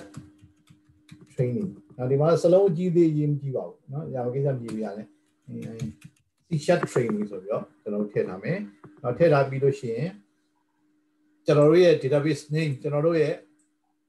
database database name ဒီကျွန်တော်တို့က C sharp training လို့ပေးမယ် owner owner ကို default လို့ပဲထားလိုက်နော် owner ကို default လို့ပဲထားလိုက်မယ်အဲအဲ့ဒီမှာကြည့်လိုက်ရင်ကျွန်တော်တို့ကဒီမှာ C sharp training ဒီဒီ database ကိုကျွန်တော်တို့ရဲ့ hard disk ထဲမှာဘယ်နေရာမှာသိမ်းသလဲဆိုတာကိုဒီနေရာမှာကြည့်လို့ရတယ်နေရာပြောင်းရင်ပြောင်းလို့ရတယ်နေရာပြောင်းရင်ပြောင်းလို့ရတယ်တော်တော်လေးကိုနှိပ်ပြီးတော့တော့သို့တော့မပြောင်းတော့ပါဘူးဒီတိုင်းပဲထားလိုက်မယ်နော် နောက်ပြီးကြလို့ရှိရင်နောက် log file ဆိုတာရှိတယ်နော်အဲ့ဒီ log file ကိုလည်းဘယ်နေရာမှာသိမ်းမလဲအတူတူဒီနေရာမှာသိမ်းမယ်နော်ဒီနေရာမှာသိမ်းမယ်ဆိုပြီးတော့ database ကို physically ကျွန်တော်တို့ရဲ့ directory ထဲမှာ physically ဘယ်နေရာမှာသိမ်းတယ်လဲဆိုတာကိုဒီနေရာမှာကြည့်လို့ရတယ်ဟုတ်ပြီနော်တကယ်လို့တစ်ခါသေးကြလို့ရှိရင် set ရဖြစ်တတ်တယ်အာ C drive က space ကသိမ်းမရှိတော့ဘူးပြကျွန်တော် D drive ထဲမှာသွားသိမ်းနေတယ်မရဘူးလားအသိမ်းလို့ရတယ်ဟုတ်ပြီနော်ဒီနေရာမှာကျွန်တော်တို့ D drive ကိုပြောင်းနော်အခုလောလောဆယ်တော့ကျွန်တော်တို့က data လည်းအများကြီးနောက်ပိုင်းညရင်တော့ဟဟို database ကအကြီးဖြစ်နိုင်တာဟုတ်နော်အဲ့တော့အကြီးဖြစ်တယ်ဘာညာဆိုရင်ကျွန်တော်တို့ကအဲ့လိုသွားပြီးသိမ့်မယ်အခုတော့မပြောင်းဘူးကျွန်တော်တို့ကဒီနေရာမှာပဲထည့်ထားတယ်နော် C drive ထဲမှာပဲဒီနေရာမှာပဲထည့်ထားတယ်နော်အာဒီမှာ okay ဒါတွေ initial size တဲ့8 megabyte တဲ့နော် initial size ကိုပြောင်းရင်ပြောင်းလို့ရတယ်နော်မပြောင်းမထားလဲနေလို့ရတယ် database ကဘာလုပ်မလဲဆိုကြအရင်ဆုံးတော့8 megabyte 8 megabyte ဆိုတော့တိတိလေးနော်အဲ့ဒီကောင်လေးပဲထားတယ်ထားပြီးလို့ရှင်သူကဒီမှာကြည့်လိုက်ရင်ဒီမှာကြည့်ရင် auto growth အဲသူကဘာဖြစ်လဲဆိုတော့လိုရင်လိုသလိုကထက်ချဲ့သွားမယ်သူကပြောတာလိုရင်လိုသလိုထက်ချဲ့သွားမယ်တစ်ခါချက်ရင်64 meg ထပ်တာပြီးချဲ့သွားမယ်ဒါသဘောပြောဟုတ်ပြီနော်ဒါဘုသူတပြည့်ကျွန်တော်ပြောနေတာဒါတွေဟိုဒီလောက်ကြီးအသေးစိတ်နားလည်ကြမလို့ဘူးနော်ဒါ click လုပ်လိုက်လို့ရတယ်အဓိကဒီမှာအရေးကြီးဆုံးဒီနော် နာမည် database ရဲ့နာမည်ဒီပါလဲဆိုတော့သိဖို့လို့နော် CS training နောက်ပြီးကြရင်ဘယ်နေရာမှာတင်ထားသလဲဆိုတော့ကျွန်တော်တို့ရှိသိတယ်နေဟုတ်ပြီနော်ဒီကောင်က auto initial size auto group သူ့ဘာသူ automatic ဒါဒီ system ကသူ့ဘာသူ manage လုပ်တော့ဟုတ်ပြီနော် okay အခုဒါလုပ်ပြီးသွားပြီလားဒီ screen ရလားရပါတယ်ရပါတယ်ရပါတယ်ဗျာဟုတ်နော် okay အဲရပြီဆိုလို့ရှိရင်ကျွန်တော်တို့ okay နှိမ့်လိုက်မယ်ဗျာ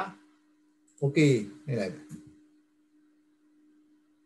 အော်ဒီမှာကျွန်တော်တို့ကဒီမှာ database အသစ်တစ်ခုထွက်လာပြီ CS training ဆိုပြီး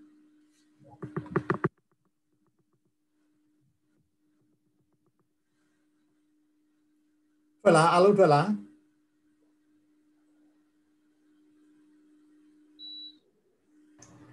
ကဲကဲရှိတဲ့လူရှိလားရှိဘူးနော် okay အဲ့ဒီမှာကျွန်တော်ဒီ plus sign လေးကို click လုပ်လိုက်မယ် plus sign လေးကို click လုပ်လို့ရှိရင်အဲ့ဒီ database ထဲမှာပါတဲ့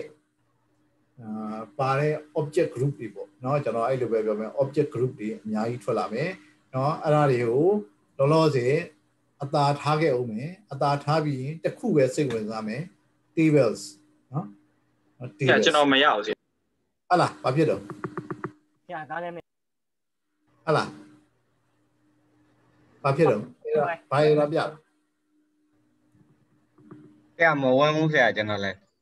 CS training မဝင်ဘူး ဒီထဲကိုပေါ်မလာဘူးလားဆရာသမီးဟုတ်တယ်ဟုတ်တယ်ဗျ training ဆိုတာရိုက်လို့မရပါဘူးဆရာဖြစ်တာလည်းမသိဘူးကောင်းရ file name ကိုကောင်းတယ်อ่ะဟုတ်ပြီဘယ်သူဘယ်သူလဲမသိဘူးပြောနေတာအဲလုံးလုံးပါအောင်အဲဟိုဟာ file name ကောင်းလို့မရကောင်းနေရဆရာကောင်း finding down တယ်ဟိုမင်းဟာ different version ပေါ့ကွာမင်းဟာ2012ဖြစ်နေတယ်ဟုတ်လားနော် အာ2012ဆရာအေး2012ဖြစ်တယ်ဒါကြောင့်မလို့ different screen ဖြစ်နေတာအဲဟုတ်ပြီအဲ့ဒါဆိုရင်အာ main screen share လုပ်ကြည့်ပါဦး okay ဟုတ်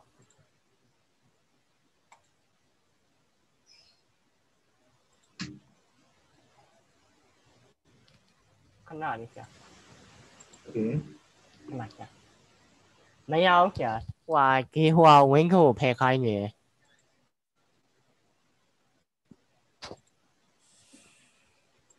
window ဘိုင်ဒီမှာ file name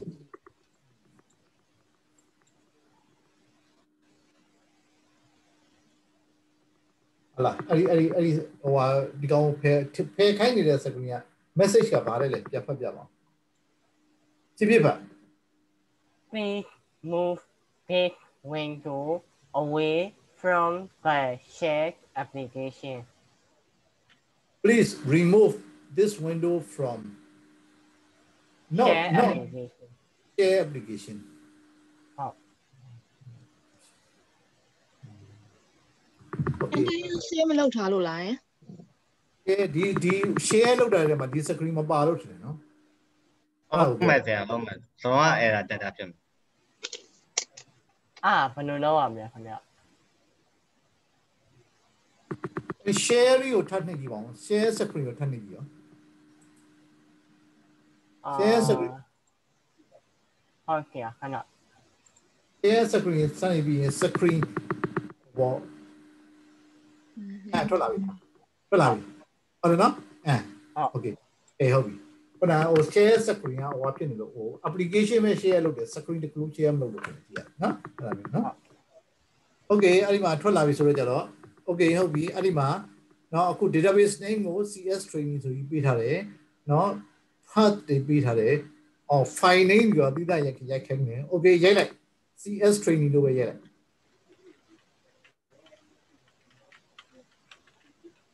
ရတယ်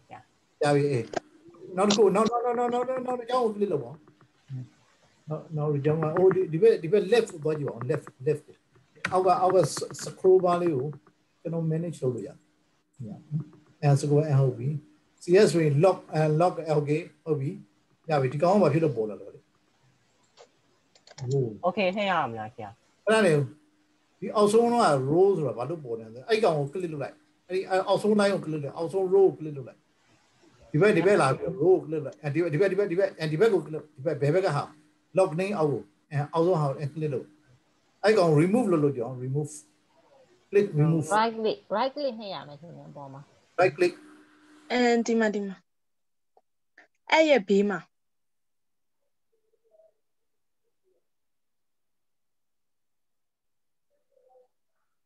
cancel ရင်လုပ်လိုက်ကွာမင်းတို့ cancel လုပ်လိုက်အောင် cancel လုပ်လိုက်ညာခံခံတော့နိုင်မယ်ဆရာအဲ့ဒီရဲ့ဘေးမှာအဲ့ဒီရဲ့ဘေးမှာအသိပြန်တော့အေးနော် database ကို database ပေါ်မှာ right click new database okay ဟုတ်ပြီအဲ့ဒီမှာ cs training okay ခုန file name နဲ့အောက်မှာလည်းအဲ့လိုသွားရိုက်ဟုတ်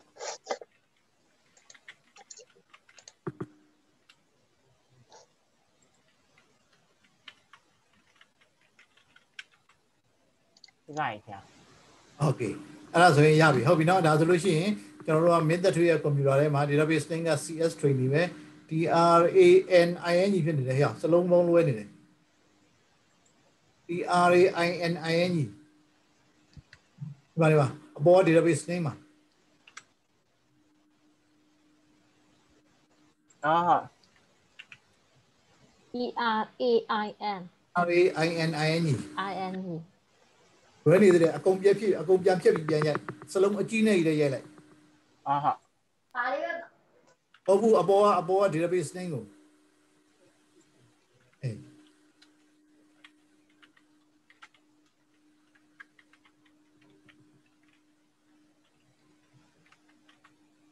Okay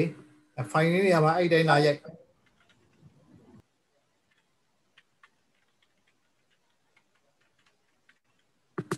Okay အောက်မှာလည်းအဲ့တိုင်းရိုက်မယ်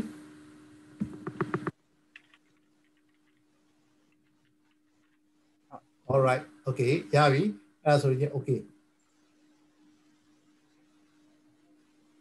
အာအဲ့ဒါမျိုးဟုတ်ပြီနော်ရပြီနော်ခုနကမရတဲ့လူဘယ်သူတော့ကျွန်တော်ပါဆရာအေးမင်းမင်းမရဘူးလားဟာလားကိုကောင်းတန်နဲ့ဟုတ်ပါတယ်ဆရာရလာပြီလားမရဘူးနော်မရသေးဘူးမ ရသေးဘူးမင်းမင်းအဲ့ဒါဆိုရင်မင်း screen share လုပ်ကြည့်ပါဦး method tree screen off လုပ်လိုက်ထိုက်ထားတယ်ဆရာအေးမမဟိုမောင်ကောင်းတန်လည်းမင်းမင်း share လုပ်ကြည့်ပါဦးအာ okay CS string share string ဟုတ်ပြီ okay okay ဒါဆိုရင်ရနေပြီနော် click လုပ်ကြည့်ပါဦး okay ပါတယ်လေ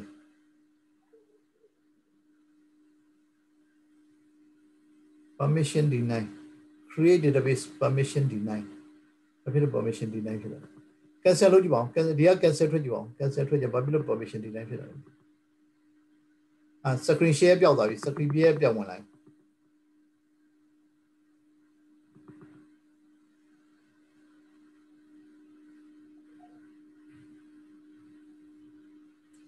အာခဏလေးဒီကောင်ကို cancel လုပ်လိုက်ဒီကောင်ကို cancel လုပ်လိုက် cancel ရင်လုပ်လိုက်အခုဒါအသိမင်းအသစ်ပြန်ဝင်လာတာလားဟာလား ဟုတ်ကဲ့အဲ့ဒါပါ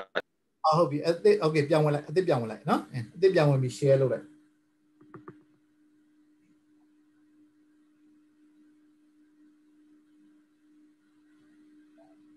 โอเคထပ်ရိုက်ကြည့်ပါဦး CS training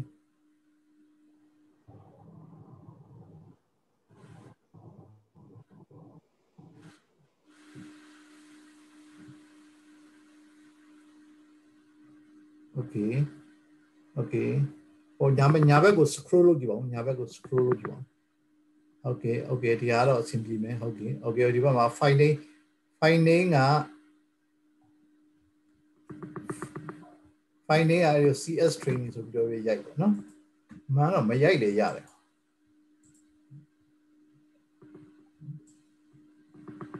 default target လို့လည်းရတယ်ဒါသီးသန့် finding ကိုသီးသန့်ပေးခြင်းမှာရဲရတာမမရိုက်လည်းရတယ်အလွဲနေတယ် CS training မတူဘူးအဲ့နှလုံးပြနေတယ် okay okay လေးလို့ okay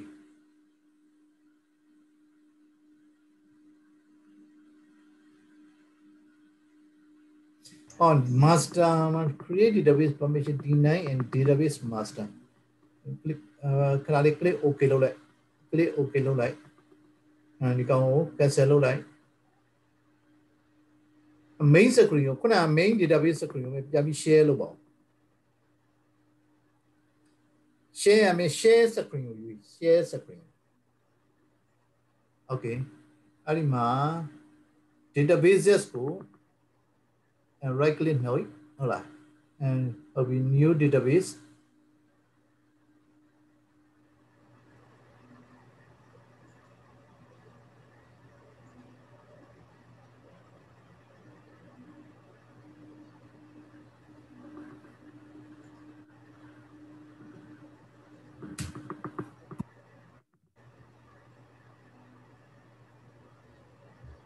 ပေါ်လာလို့စကွေ။မင်းဒီမှာပေါ်ပြီလား။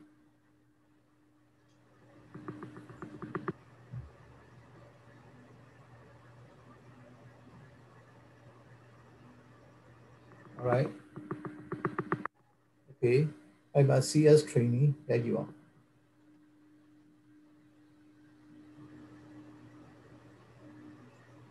Okay final ကိုတာထားခဲ့လိုက်တော့เนาะ final ကိုတာထားခဲ့လိုက်နောက်ဒီမှာ okay နှိပ်ကြည့် ဟဲ့ရှေ့မှာမင်း space ကြီးတွေပါနေတယ်ကွာမင်းရိုက်တာ okay တရားပြန်နှိမ့်ရအောင်အဲ space ကြီးဖြစ် okay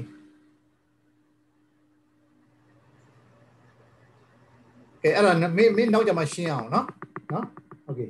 ဘာဖြစ်နေလဲမသိဘူးနော်တိတ်ပြီးတော့ဒီလိုဟို hands on လောက်တာတိတ်အဆင်မပြေဘူးအဲ့ကြတော့ဟို hands on လုံးလို့မရတဲ့လူတွေကအသာနောက်ကြမှာရှင်းမယ်ဒီ database ကိုအဲဒီ video file ပေါ်လာတော့မှဒီ video file share လုပ်ပြီးတဲ့အခါကျမှ upload လုပ်ပြီးတဲ့ခါမှာဒီဒီ video follow up လုပ်ပေါ့နော် go through လုပ်ပြီးတော့ like လုပ်ပေါ့နော် like လုပ်လို့ပြဿနာတက်တယ်ဆိုလို့ရှိရင်ဒီမှာဆရာမကြီးတွေရှိတယ်နော်ဤမကြီးတို့ဆရာမကြီးတွေရှိတယ်ဟိုဆုစုတို့ဆရာမကြီးတွေရှိတယ်သူတို့သူတို့နဲ့မေးပြီးတော့လုပ်တယ်နော်အခုလောလောဆယ်ရတဲ့လူတွေတိုက်လို့ကြည့်ပေါ့မရတဲ့လူတွေဒီတိုင်းပဲ screen မှာအရင်ကြည့်လိုက်အောင်ဟုတ်ပြီနော်ဟုတ်ကဲ့ပါဆရာအဲ့ဒါအဲ့ဒါမှရှေ့ဆက်မှာအဲ့လိုဆိုရင်ရှေ့ဆက်လို့ရအောင်မဟုတ်တော့ okay နော် okay အဲ့ဒီကြတော့ကျွန်တော်တို့က database အသစ်တစ်ခု create လုပ်မယ်နော်နောက်ဘယ်လို create လုပ်တယ်လဲဆိုတာနည်းနည်းပြန်ကြည့်ကြည့်လိုက်မယ်ဗျာကျွန်တော် database နော် new database အာခုနကဘာကြောင့် permission deny ဖြစ်တယ်လဲတော့မသိဘူးပြန်ကြည့်မှရနော်အဲ့ကြတော့ဒီမှာ database name ကိုရိုက်ထည့်မယ်ခုန CS training ဆိုပြီးရိုက်ထည့်မယ်ရိုက်ထည့်ဆရာ screen share မပေါ်သေးဘူးဆရာ အော်ပေါ်သေးဘူးလားအော်โอเค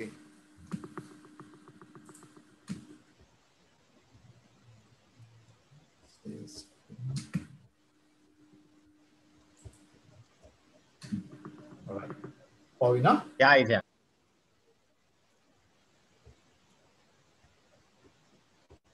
Okay အဲ့တော့ပြန်ပြီးကြည့်မယ်เนาะ database ဒီ database ပေါ်မှာเนาะ database ပေါ်မှာ right နဲ့နေပြီးတော့ new database ဆိုပြီးတော့ကျွန်တော်တို့ကနေပြီးတော့ เนาะ database အသစ်တစ်ခုဒီမှာ create လုပ်လို့ရတယ်။ဒီကြီးကနာမည်တစ်ခုဒီမှာเนาะနာမည်နာမည်ရိုက်လိုက်လို့ရှိရင်ရပြီเนาะ။အဲဒါရင်ဒီကောင်ကဒီ finding ကတီးသန့်ပေးခြင်းနဲ့ဆိုရင်လည်းရတယ်။တီးသန့်မပေးဘူးဒီ test အနေနဲ့ပဲရိုက်ခြင်းနဲ့ထားခြင်းနဲ့ဆိုဒီ finding ကိုလာပြီးရိုက်เสียရမလို့ခါလဲ okay ဆိုပြီးတော့လိုက်လို့ရတယ်။နော်။ထားပါတော့ okay အဲဒါဆိုလို့ရှိရင်ကျွန်တော်တို့ဒီမှာ database အသစ်တစ်ခုရပြီ CS training ဆိုတဲ့ database အသစ်တစ်ခုရပြီ။နော်အဲ့ဒီထဲမှာကျွန်တော်ကျန်တာတွေကိုခဏထားခဲ့အောင်မယ်။ အဓိကကျွန်တော် interest ကပေါ့ tables နော် tables အာ table table အောက်မှာ system table ဒါ file တွေကျန်တာတွေစိတ်ဝင်စားသေးဘူးခဏထားလိုက်မယ် table အောက်ကို click လုပ်မယ် click လုပ်ပြီးလို့ရှိရင်တော့ကျွန်တော်တို့က database ထဲမှာ data တွေကိုသိမ်းလို့ရှိရင်ကျွန်တော်တို့ကဘာတွေနဲ့သိမ်းရဆိုတော့ကျွန်တော်ဒီ database ထဲမှာကျွန်တော်တို့ data တွေကိုသိမ်းရဆိုရင်ဘာတွေနဲ့သိမ်းရဆိုတော့ကျွန်တော် table တွေအာဒီအောက်မှာကျွန်တော်တို့က table တွေနဲ့သိမ်းမယ် နော် table စီနဲ့သိမယ်နော် table စီနဲ့သိမယ်ဟိုဟိုမှာဆိုကြပါတော့ကျွန်တော်တို့ကចောင်းသားတွေရဲ့ဟိုမှာအခုကျွန်တော်တို့က student management system တခုနော်နော် student management system တခုဆောက်မယ်ဆိုပါလို့ဗျာ student management system ရဲ့အောက်မှာကျွန်တော်တို့ကဘာတွေရှိမလဲဆိုတော့ကျွန်တော်အကျောင်းသားတွေရဲ့ information တွေရှိမယ်ဆိုရင်ကျောင်းသားတွေရဲ့ student တွေပဲရှိမယ်နော်အာသူတို့ manage လုပ်တဲ့ဆရာတွေရဲ့ information ရှိတယ်ဆိုရင် ဆရာတွေရဲ့ information ရှိဖို့လိုတယ်ဆိုရင်နောက်ကျောင်းသားတွေနဲ့ဆရာတွေနဲ့ကျွန်တော်တို့ကတီးတဲ့ဟိုရောထားလို့မရဘူးရောထားလို့မရဘူးအဆင်မပြေဘူးအဲ့ကြကျွန်တော်ဆရာတွေအတွက်တော့ table တစ်ခုတတ်တတ်ထားမယ်အဲနောက်ပြီးကြလို့ရှိရင်နေ့စဉ် roll call တွေအတွက်ဟိုပေါ့တစ်ခုတတ်တတ်ထားမယ်အဲ table တစ်ခုတတ်တတ်ထားမယ်အဲ့လိုမျိုးသူကဒီ information set of information ပေါ့เนาะ set of information တစ်ခုကို table တစ်ခုကျွန်တော်တို့သိမ်းပြီးထားမယ်နော်ဘာနဲ့ခက်စင်စင် ဟိုသဘောတရားပြောလို့ရတယ်ဆိုတော့ Excel သုံးဝင်လား Excel သုံးရတယ်နော်အဲ့ဒီ Excel မှာကျွန်တော်တို့မှာဒီမှာဒီဒီ sheet တွေပေါ့နော်ဒီဒီ sheet တွေနဲ့အဲကျွန်တော်တို့ကဆရာ list အကြောင်းသား list စသဖြင့်ကျွန်တော်တို့က sheet တွေတက်တက်ခွဲထားသလိုမျိုးပေါ့နော်အဲ့ဒီလိုမျိုးဆန်းဆန်းပါပဲနော်အဲ့တော့ကိုသိညင်တဲ့ data တွေကိုကျွန်တော် table တွေနဲ့သိလို့သိသိထားမယ် table တွေထားထားမယ်အဲ့ဒီ table တွေထဲမှာဘာတွေပါမလဲဆိုတော့ အဲ့ဒီ table တွေထဲမှာပါလဲ columns တွေပါမယ်နော်အဲ့ဒီ table တွေထဲမှာ columns တွေပါမယ်အဲ့ဒီ columns တွေထဲမှာနောက်ပြီးတော့ရှင် rows တွေပါနော်အဲ့တော့ကျွန်တော် database ထဲမှာ data သိမ်းနေတယ်ဆိုရင် table တွေနဲ့သိမ်းထားမယ်အဲ့ဒီ table တွေမှာ columns တွေပါမယ်အဲ့ဒီ table တွေမှာ rows တွေပါနော် Excel နဲ့ပြန်ပြီးတော့ကျွန်တော်တို့သဘောတရားပေါက်အောင်ကြည့်အောင် ဥပမာဆိုကြပါစို့ကျွန်တော်တို့ကနော် Excel ထဲမှာကျွန်တော်တို့ data သိမ်းမယ်ဆိုရင်ဒါဒီဆိုကြပါစို့ student တွေသိမ်းမယ်ဆိုတဲ့အတွက် student ဆိုပြီးတော့ဒါ student sheet ပေါ့ student sheet ရှိမယ်ဒီမှာဒါတွေပါဘာလို့ခေါ်တော့ဒါတွေ A B C D တွေဒီပါတော့ column တွေ column column တွေဒီကောင်တွေက1 2 3 4 5 6 7 8 9ရပါတော့ rows ဟုတ်ပြီနော်အဲ့ကြဒီမှာ column A ရဲ့နာမည်ကိုကျွန်တော်တို့ကဆိုကြပါစို့ဒီမှာ name နော်နော် age sex uh town phone number အေးကျွန်တော်တို့ဒါမျိုးမသိဘူးလားဗျာသိတယ်ဟုတ်ပြီနော်အဲဆိုကြပါတော့ဒီမှာ min that tree နော်အဲ age ကဘယ်လောက်လဲ15နှစ် sex ကဘာလဲ male ဖုန်းနံပါတ်ကဘယ်လောက်လဲ9 blah blah blah email ကဘာလဲ mdh@gmail.com ဟုတ်လားနော်အဲအမဆိုကြပါစို့အဲဒီနေရာမှာဆိုကြပါစို့အာနောက်တစ်ယောက်ရိုက်မယ်အမဇွဲညီဆိုကြပါစို့နာမည်ရိုက်မယ် age ကဘယ်လောက်လဲ20 mail mail ဖုန်းနံပါတ်ကဘာလဲဖုန်းနံပါတ်ကပါပေါ့နော်အဲနောက်ကြရင် email email က zn znw@gmail.com အဲတော့ဒါမျိုးမသိဘူးလားဗျာသိနေဟုတ်ပြီနော်ဒါဆိုရင်ចောင်းသားတစ်ယောက်ဒီ1 row ចောင်းသားတစ်ယောက်ဒီ1 row ចောင်းသားတစ်ယောက်ဒီ1 row ဒါမျိုးမသိဘူးသိနေဟုတ်တယ်နော်နောက်ပြီးကြလို့ရှိရင်ဒီចောင်းသားတစ်ယောက်ရဲ့ information မှာဒီចောင်းသားတစ်ယောက်ကိုနာမည်လည်းသိနေတယ်အသက်လည်းသိနေတယ်ဆက်ဆက်တဲ့ဖုန်းနံပါတ်သူ့ရဲ့ individual particulars တွေ individual particulars ဒါတွေကိုကျွန်တော်တို့ column မှာထားပြီးတော့သိဟုတ်နော် column မှာထားပြီးသိ နော်ဒါကြောင့်မလို့ကျွန်တော်တို့က Excel ထဲမှာသိနေဆိုလို့ရှိရင်လည်းဒီမှာဒါတွေဒီ column တွေ column တွေနဲ့ rows တွေနဲ့ကျွန်တော်တို့သိနေဟုတ်တယ်နော်အဲအဲ့ဒီလိုပဲကျွန်တော်တို့ရဲ့ database ထဲမှာနော် data တွေကိုသိတဲ့အခါမှာနော်ခုနကရှိလို့ပဲရှိလို့ပဲကျွန်တော်တို့ကဘာတွေသိနော် tables တွေရှိနေအဲ့ဒီ tables တွေထဲမှာ columns တွေရှိနေနော်အဲ့ column တွေထဲမှာမှာ individual ចောင်းသားဆိုလို့ရှိရင် individual data ဆိုလို့ရှိရင်ကျွန်တော် row by row နဲ့တောက် ဟုတ်ပြီနော်အဲ့ဒါမျိုးသိအဲ့ကြတော့အခုကျွန်တော်တို့ table တစ်ခုစပြီးတော့ကျွန်တော်တို့ create လုပ်ပြအောင် table တစ်ခုကျွန်တော် create လုပ်ပြမယ် table တစ်ခု create လုပ်ချင်တယ်ဆိုလို့ရှိရင်လည်းဒီ table create လုပ်ရင်ကျွန်တော် script နဲ့ပဲသွားအောင်ပထမဆုံးเนาะဒီမှာဟိုဘာနဲ့ပဲ script နဲ့ပဲပို့ကောင်းเนาะဒီမှာကျွန်တော်တို့ဒီမှာ query screen လို့ခေါ်တယ် very powerful tool เนาะဒီမှာ query screen လို့ရှိတယ် အဲ့ query ကို click လုပ်လိုက်နော် query မ query screen ပေါ်လာတယ်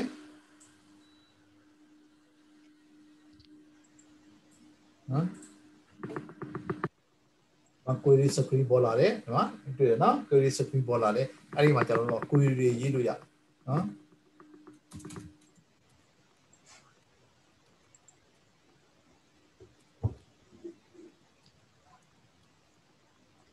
ကျွန်တော်ရှေ့မှာ dash dash နဲ့ရေးလို့ရှိရင်က comment လို့ခေါ်တယ်။ဒီနေ့ကပြောသလိုပဲနော် comment လို့ခေါ်တယ်ဒေါ်ဒီကျွန်တော်တို့ကဟိုကိုပါကိုသိအောင်ရေးထားတာ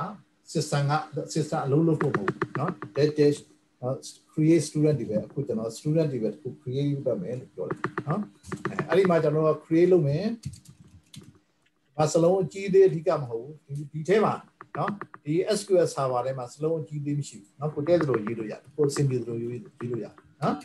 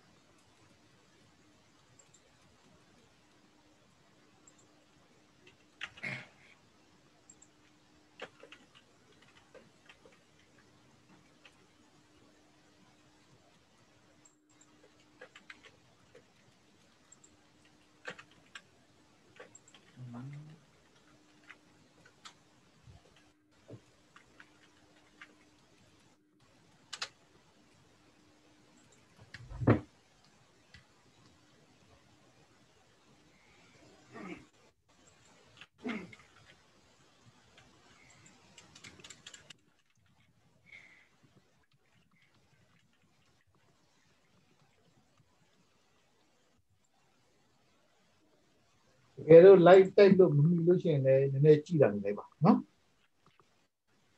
ဒါမှမဟုတ်လည်းကျွန်တော်ဒီက copy ကူးပြီးတော့ပြလိုက် main reset မှာကြည့်လို့ဆိုကြပါတော့လောက်ဝတ်ပေးမယ်နော် plus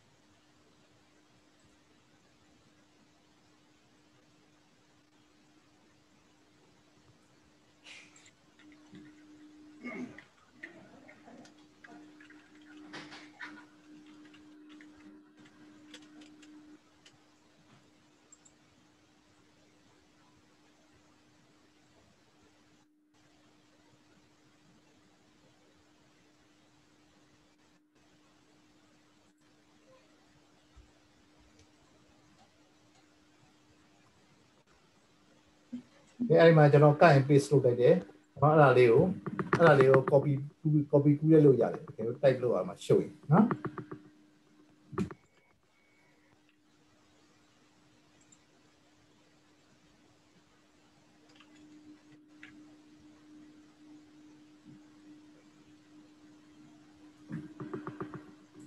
နော် copy ကူးပြီးတော့ဒီလို copy ကူးလိုက်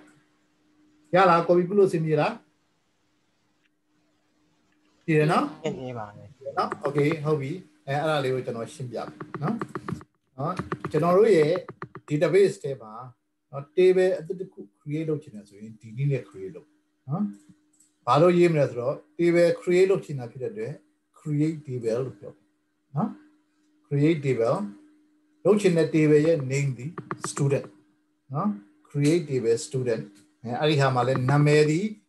alphabetic ဟို ABCD တွေဖြစ်လို့ရတယ်အကြီးအသေးပြဿနာမရှိဘူးအဲနောက်ပြီးကြလို့ရှိရင် underscore တွေ underscore ထည့်လို့ရတယ်1 2 3 4ထည့်လို့ရတယ်နော်ကျန်တဲ့ဟို star တို့ဟို exclamation mark တို့ percentage တို့ dollar sign တို့စတဲ့ဟာတွေထည့်လို့ရတယ်နော်ဒီလိုနေဆိုတော့ရင် create table နော်ကျွန်တော်တို့ဒီ table တစ်ခု create လုပ်ချင်ပါတယ်လို့ပြောလိုက်တာ create table နော် table ရဲ့ name ဒီပါလဲဆိုတော့じゃ student နော် student table name table name ဒီ student အဲ့ဒီထဲမှာကျွန်တော်တို့ကဘာ column နေဒါတွေဒီ column နေနော် column နေဒီ column နေပါပါမယ်လို့ကျွန်တော်တို့ကပြော column တွေပါပါမယ်လို့ပြောတာနော်ဘာ column ပါမလဲဆိုတော့ id column နော်ပထမဆုံး id ဟော every table တိုင်းမှာ every table တိုင်းမှာ as a as a good practice နော် as a good practice ဆိုရကျွန်တော်တို့က id column ရှိရတယ်နော် every table ထဲမှာ as a good practice နဲ့ကျွန်တော်တို့ id column ရှိရတယ်နော် id identity column လို့ခေါ်တယ် every row တိုင်း row တိုင်း row တိုင်းဒီ unique number ဖြစ်နေမယ်ပြောနော်မထပ်ဘူးတစ်ခုနဲ့တစ်ခုဟုတ်ပြီနော်တင်းနေ3 5 6 9 10 row number ပေါ့ဗျာဆိုရတဲ့ပေါ့နော်ဒီပါဆိုလို့ရှိရင်ကျွန်တော်တို့ကဒီမှာ Excel နဲ့ပြောမယ်ဆိုရင်ရှေ့ကကျွန်တော်တို့ဘာလို့ပြောဆိုတော့ဒီမှာ ID ဆိုပြီးပြတယ်အာဒီပါနံပါတ်1နံပါတ်2နံပါတ်3နံပါတ်4နံပါတ်5နံပါတ်6နံပါတ်9နံပါတ်10အဲဒါမျိုးသွားမယ်လို့ကျွန်တော်တို့ပြောတာဘာကြောင့်အဲ့လိုပြောလာလဲဆိုတော့ကြတော့ နော်ဒီကောင်ဒီ unique number နော် identity number လို့ခေါ်တယ် unique number ဖြစ်နေပြီနော်ဆိုတဲ့သဘောကနောက်ပိုင်းကျရင်ကျွန်တော်တို့ကဒီ row ကိုပေးပါလို့ပြောရင်ပါဆိုတော့ ID number 5ကိုပေးပါလို့ကျွန်တော်ပြောရင်ဒီ row ဆိုတာသိကြတယ်။ဘာလို့ကျွန်တော်တို့အကြောင်းသားထဲမှာ method တွေက2ယောက်ဖြစ်နေဖြစ်မှာဟုတ်ဟုတ်လား nick က2ယောက်ဖြစ်နေဖြစ်နေမှာဟုတ်နာမည်တွေဒီနာမည်တွေဒီ unique ဖြစ်ချင်မှာဖြစ်မယ်။နော် age ကလည်း unique မဖြစ်ဘူး sex ကလည်း unique ဖြစ်ဘူး phone number က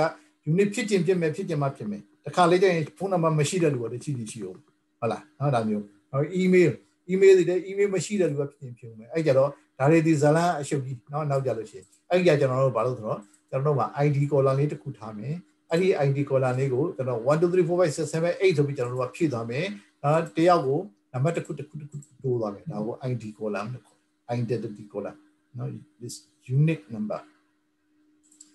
အာဆိုပြီးအဲ့ဒီမှာကျွန်တော်တို့ every day ပဲတိုင်းမှာကျွန်တော် as a good practice as a good practice နဲ့ကျွန်တော်တို့ကနေပြီးတော့ ID column ရှိမယ်အဲ့ဒီ ID column ဒီဘာလို့ဆိုတော့ int int ဆိုတော့ integer နော် int eg ရအဲ့လိုရိုက်လေရတယ်နော် integer int integer နောက်သူဒီဘာလို့ဆိုတော့ identity နောက်သူဒီဘာလို့ system က identity 1.1လို့ပြောထားရင်နော်ဒီ column လေးကိုတော့ automatic တော့ဖြည့်ပေးတယ် နော်ဒီထဲကို record အစ်တစ်ခုတည်းတိုင်းတိုင်းတစ်တိုးပြီးတယ်တစ်တိုးပြီးတစ်တိုးပြီးတယ်တင်းတင်းသုံးလေးငါး၆ခုကြီးကိုဆယ်ကိုကရိုက်ထည့်စရာမလိုဘူးနော်သူ့ဘက်သူ automatic အစ်တိုးပြီးပါလို့ပြောရင် identity 1.1ဆိုတာထည့်ပြီးနော်နောက်ပြီး not now ပြီးတော့ not now ဆိုတာဒီထဲမှာတန်ဖိုးဘာမှမရှိဘူးတန်ဖိုးမဖြစ်ဘူးနော်တန်ဖိုးမရှိဘူးဆိုတာမဖြစ်နိုင်ဘူးဒီနံပါတ်ဒီကောင်ဒီပါကိုပါရမယ်ရှိကိုရှိကိုရှိရမယ်လို့ပြောတာ not now ဟုတ်ပြီနော် အဲနောက်ထပ်နောက်ထပ် row နောက်ထပ်နောက်ထပ် column တစ်ခုထပ်ပြီး create လုပ်မယ် name ဆိုတဲ့ column အဲ့ဒီ name ဆိုတဲ့ column ရဲ့ variable ကနော်အဲ့ဒီ name column ရဲ့ variable type ကဘာလဲဆိုတော့ n varchar နော် n varchar ဆိုတာဘယ်လို type မျိုးလို့ဆိုတော့ကြတော့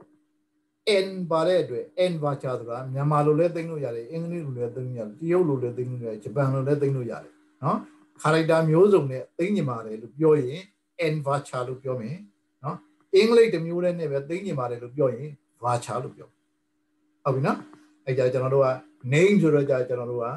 မြန်မာလိုလည်းသိညင်တယ်လို့ကျွန်တော်တို့ကယူဆတဲ့အတွက် n varchar လို့ပြောမယ်သူ့ရဲ့အရေးအတွက်ဒီစကလုံးအရေးအတွက် maximum length ဒီတရားလို့ထားမယ်နော်စလုံးတရားထိသိမ့်လို့ရနော်ဆိုတော့တရားနဲ့တိုးရင်လည်းတိုးပဲဒါကြောင့်မလို့တော့ var var ဆိုတာပါ variable variable character variable character အတိုးရှိအများဆုံးဒီတရားနော်သိလို့ရမယ်ပြောအဲနာမည်ဟာလည်းကျွန်တော်တို့ကတေချာဖို့ရှိကိုရှိရမှာနာမည်မရှိဘူးဆိုတာမဖြစ်နိုင်ဘူး every record must have name အဲဒါမှမဟုတ်ကျွန်တော်တို့နာမည်ကိုလည်းကျွန်တော်တို့ကဘာလို့ပြော not now နော် now value ဘာမှမရှိတဲ့တန်ဖိုး now value ခွင့်မပြုဘူးလို့ပြောတာဟုတ်ပြီနော်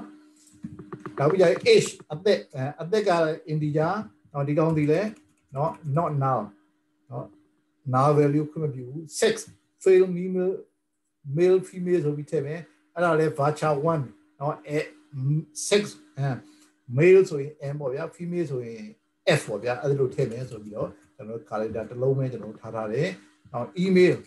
email ကလည်း virtual 100အတွက်သူတည်း now ဖြစ်လို့မရဘူး every every student must put in email เนาะ email အဲဖုန်းနံပါတ်ထပ်ထည့်လိုက်စလုံးကြီးသေးမရှိဘူးเนาะကျွန်တော်မှရေးရေးချင်လို့ရေးလို့ရနော် လှအောင်လှအောင်ပဲရေးတာနော်လှအောင်ပဲရေးတာအဲအဲ့ဒီမှာဒီမှာ space ထည့်လို့မရဘူးနော်ဒီနာမည်မှာ space ထည့်လို့မရဘူးဒီနာမည်တွေမှာ space ထည့်လို့မရဖုန်းနံပါတ်ကိုလည်း varchar 100လို့ပဲထားလိုက်မယ်မြတ်လို့ပဲဖုန်းနံပါတ်လည်းရှိကိုရှိရမယ် class id နော်ဘယ်ဘယ်အတန်းကလဲဆိုပြီးတော့ကျွန်တော် class id ဆိုပြီးတော့ထားမယ် နော်တင်းတင်းသုံးလေးနဲ့အဲ့ဒါကိုအဲ class id ကတော့တချို့တွေကျောင်းသားတွေကအတန်းမရသေးဘူးဆိုလို့ရှိရင်နာလို့ဖြစ်နိုင်တယ်ဘာမှမရှိသေးတဲ့တန်ဖိုးဖြစ်နိုင်တယ်ဒါကြောင့်မလို့ဒီမှာကျွန်တော်တို့က not now လို့မပြောဘူး now လို့ပဲပြောဟုတ်ပြီနော်နောက်ပြီးကြလို့ရှိရင်နောက်တစ်ခုကဘာလဲဆိုနောက်တစ်ခုကဘာလဲဆိုတော့ constraint ဒီ day ပဲအတွက်ကျွန်တော်တို့က constraint တစ်ခုတတ်မယ်တဲ့နော် constraint ရဲ့နာမည်ဒီဘာလဲဆိုတော့ကြောင့် constraint ရဲ့နာမည်ဒီ PRI underscore student နော် constraint ရဲ့နာမည်ဒီ PRI underscore student ဖြစ်တယ်တဲ့နော် primary key primary key လို့ပြောတယ် primary key ဆိုလို့ရှိရင် unique ဖြစ်တယ် duplicate ဖြစ်လို့မရဘူး primary သတ်မှတ်တဲ့ဟာတွေဒီ unique ဖြစ်ရမယ် duplicate ဖြစ်လို့မရဘူးဘယ် column ကို primary key လို့သတ်မှတ်တယ်ဆိုတော့ id column ကို primary key လို့သတ်မှတ်မယ်ပြောလိုက်ဟုတ်ပြီနော်နားလည်လား ဟိုဆရာ identity 1.1တစ်ချက်လောက်ပြန်ပြောရအောင်ကျွန်တော်မကြားလိုက်ရလို့ဟုတ်ပြီ identity 1ဆိုတာ1.1ဆိုတာလို့ပြောလိုက်တာဟောဒီ id column ကိုနော် user က input လုပ်လို့မရဘူးနော် system က auto generate လုပ်ပေးပါနော် generate လုပ်ပေးပါဘယ်ကနေစမလဲဆိုတော့1ကနေစမယ် row number 1ဒီ1ပထမဦးဆုံးထည့်တဲ့ record ဒီ1ဒုတိယထည့်တဲ့ record ဒီ2တတိယထည့်တဲ့ record ဒီ3နော်အဲ့ဒါမျိုးသွားမယ် တခါ increase လုပ်ရင်တစ် increase လုပ်ရင်တော့ဟုတ်ပါလားနော်မပေါက်သေးရင်ပြီးကြရင်သဘောပေါက်တယ်ဆရာအကြည့်လို့ရှိရင်ပို့ပြီးတော့သဘောပေါက်တာဟုတ်ပြီနော်အဲ့ကြကျွန်တော်တို့ရဲ့ဒီမှာ table တစ်ခု create လုပ်ချင်တယ်ဆိုလို့ရှိရင်ဒါနောက်ပိုင်းညလုံးနေကြသွားရင်ဒါလေးကမှတ်မိတာမှာမမှတ်မိရင်လည်းတနည်းအားသိမ့်တာပေါ့ဗျာကိုပြီးလုပ်ပြီးတော့ကြည့်ကြည့်ရပါပေါ့ဟုတ်ပြီလား အဲ့ဒီလိုမဟုတ်လို့ရှိရင်ကျွန်တော်တို့ Google ထဲမှာရှာကြည့်လို့ရပါတယ်နော် Google ထဲမှာဘယ်လိုရှာကြည့်မလဲဟုတ်ရှာကြည့်လေးကြည့်တာဟောမှာဒီမှာကျွန်တော်တို့ database အမျိုးအစားတွေကအများကြီးပဲနော် Oracle SQL ရှိမယ် MySQL ရှိမယ် DB2 ရှိမယ်တော့ကျွန်တော်တို့သုံးနေတာ Microsoft SQL MS SQL ခေါ်အဲကြောင့်ကျွန်တော်တို့ search လုပ်ရင်ကျွန်တော်တို့က MS SQL ကိုဖြစ် MS SQL insert statement အဲအဲ့ဒါမျိုးကြည့်လို့ရ နော်ကိုကျွန်တော်တို့ insert လုပ်နော် ms ပြော insert statement ဆိုရင် mi ပါ insert statement နော်အာမဒီမှာဒီတော့အဝအောက်ကနော် Microsoft အောက်က W3 W3 school အောက်မှာလည်းရှိပါတယ်နော်ဒီမှာ Microsoft ကိုရှာကြည့်ရင် Microsoft အောက်ကဒီကောင်ကြည့်ကြည့်ရင်အာဒီပါဆိုလို့ရှိရင်အာဒီပါသူသူကတော့ဒီပါကြည့်လိုက်လို့ရှိရင်သူကဟိုပေါ့သူတို့ကတော့တကယ် general ကျွန်တော်တို့က SQL statement အကြီးကြီး general statement ကြီး ဟိုသူကအကုန်ဒီ SQL စပီးရတဲ့ကဲကြ very complicated နော် very complicated အခုကျွန်တော်စပြီးပြတာ very simple ကိုပြနော်အဲ့ကြတော့တို့မှဒီမှာကြည့်လိုက်ရင်တော့အော်ဟာဟာခြေလက်ဘက်ကိုရမ်းသွားတာပဲနော်အဲ့ကြတော့အဲ့ဒီမှာကိုကလွယ်တဲ့ဟာနော်လွယ်တဲ့ဟာဒီစမှာ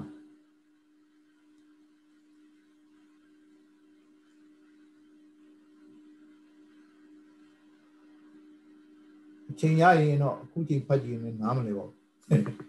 ဟုတ်ပါဘူးအခု sorry ကျွန်တော်တို့ကြည့်တာ insert statement ဟုတ်ပါဘူး MSSQL create table create table MSQL create table statement နော် sorry မှားတော့ create table အာတော့ create table ဆိုရင်ဘယ်လို create လုပ်ရမလဲဆိုတော့ကျတော့ create table ဆိုလို့ရှိရင် symbol create table syntax ဆက် create table ဆိုရင်မှာ create table ဆိုတဲ့စကားလုံးပါမယ်တဲ့နော်စကားလုံးပါပြီးလို့ရှိရင်တဲ့နော် database name dot schema name dot အဲ့ကောင်တွေထည့်လို့လည်းရတယ်မထည့်လို့လည်းရနော်အခုကျွန်တော်တို့ကမထည့်ဘူးကျွန်တော် table name ပဲထည့်တယ် table name ရဲ့နောက်မှာကျွန်တော်တို့က column တွေထည့်မယ်တဲ့အဲ့ဒါမျိုးပြောတယ်ရှုပ်တော့ရှုပ်တွေကနော်ဟိုဒီဟာလေးဖတ်လိုက်လို့ရှိရင်သိပြောင်းမှာဖြစ်ဘူးအဲ့ကြဘာလို့လွယ်လွယ်ကူဘာရှားလဲဆိုတော့ကြတော့ကျွန်တော်တို့က example ရှားတယ်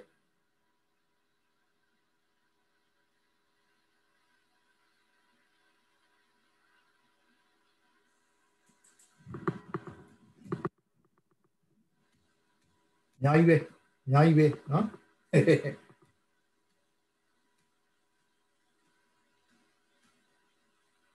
အာဒီမှာတွေ့ပြီနော်ဟုတ်ပြီနော်အဲဒီမှာတော့ဒါ temporary table ကိုပြတယ်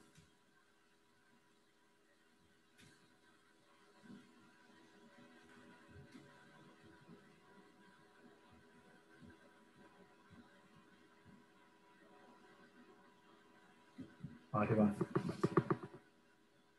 examples နော်အဲ့ဒါအဲ့ဒါ lecture နော်အဘောဟာတွေဖတ်တာတော်တော်ရှုပ်တယ်နော်အများကြီးပဲနော် create table table create လုပ်မယ်နော်ဒီမှာ dbo. အဲဒါ owner ကိုပြောတာ dbo. ကျွန်တော်ဒါမသုံးဘူး employee ရဲ့နောက်မှာ employee ဆိုတာဒါ table name ဒီကောင်က fee name column name column ရဲ့ type ဒါပဲတော့တကောင်ဒါကို primary key ဆိုပြီးခါလေးပြောတယ် ကျွန်တော်တင်နားလည်မှာမဟုတ်ဘူးထားလိုက်တော့နော်ဒါတွေအခုအခုဒီကောင်ဒီကောင်တွေကသိပြီးတော့ရှုံသွားကြည့်တယ်အော်လောလောဆယ်အဲ့ဒါကိုသွားပြီးစိတ်ဝင်ကြတယ်ဟုတ်ကျွန်တော်တင်တာကိုပဲအာရုံစိုက်လိုက်နော်အဲ့လိုဝင်အကုန်လုံးပတ်ချက်လဲပြီးရှုပ်လို့နော်အဲ့ကြတော့ဒါကိုကျွန်တော်ပြန်ပြီးထိုက်ရှင်းပြမယ်နော် create table table တစ်ခု create လုပ်ချင်တဲ့ဆိုရင် create table နော်နောက်ကြလို့ရှိရင် table name လာမယ်အဲ့ထဲမှာကျွန်တော်တို့ကအဲ့ table ရဲ့ column တွေသိညင်တဲ့ data တွေရဲ့ column တွေရှိမယ်နော် column name ရှိမယ် column ရဲ့ variable data type ရှိမယ်နော်ဒီကောင်က identity 1.1ဆိုတာက user က input မလုပ်ဘူး system က automatic create လုပ်ပေးပါလို့ပြောတာ identity 1.1ဘယ်ကနေစမလဲ first row ဒီ row number 1ကနေစမယ်အမြဲတမ်းတစ်တိုးသွားမယ်လို့ပြောတာ identity 1.1ဟော not now ဆိုတာ how do fee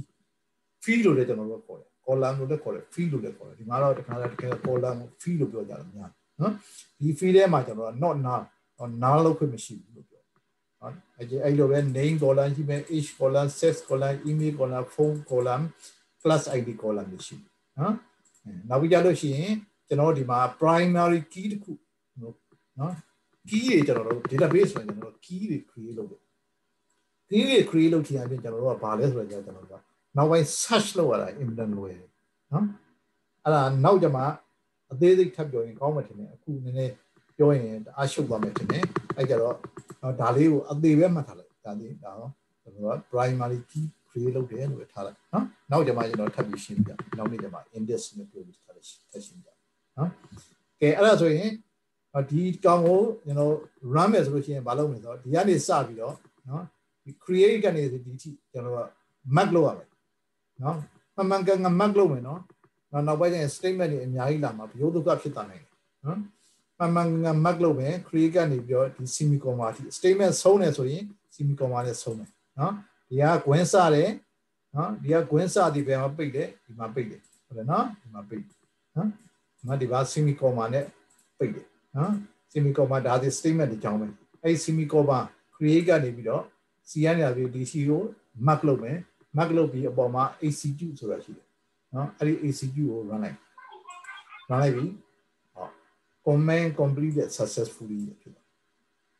ဟုတ်ပြီနော်ကဲ run ကြည့်ကြပါအောင် run လို့ရတဲ့လူတွေ run လို့မရတဲ့လူတွေတော့နောက်မှလုပ်ပါနော် Nick ဘာလို့ကောင်းကောင်းကုန်တာရလားရပါတယ်ရပါတယ်ရတယ် okay ဘောင်ဟိတ်ချက်ဝင်ရလားရရဆရာရ ရ ရတယ်နော် okay okay good okay ဟုတ်ပြီနော် comment completed successfully very good အဲအဲ့ဒီမှာကျွန်တော်တို့ဒီမှာကြည့်လိုက်ဒီမှာဒီ table နေရာမှာဒီဘယ်ဘက်မှာတော့ဒီ table မှာ right click နှိပ်မယ် right click နှိပ်ပြီးလို့ရင် refresh လို့နှိပ်လိုက်မယ်အော်ဒီမှာ student table တခုရတယ်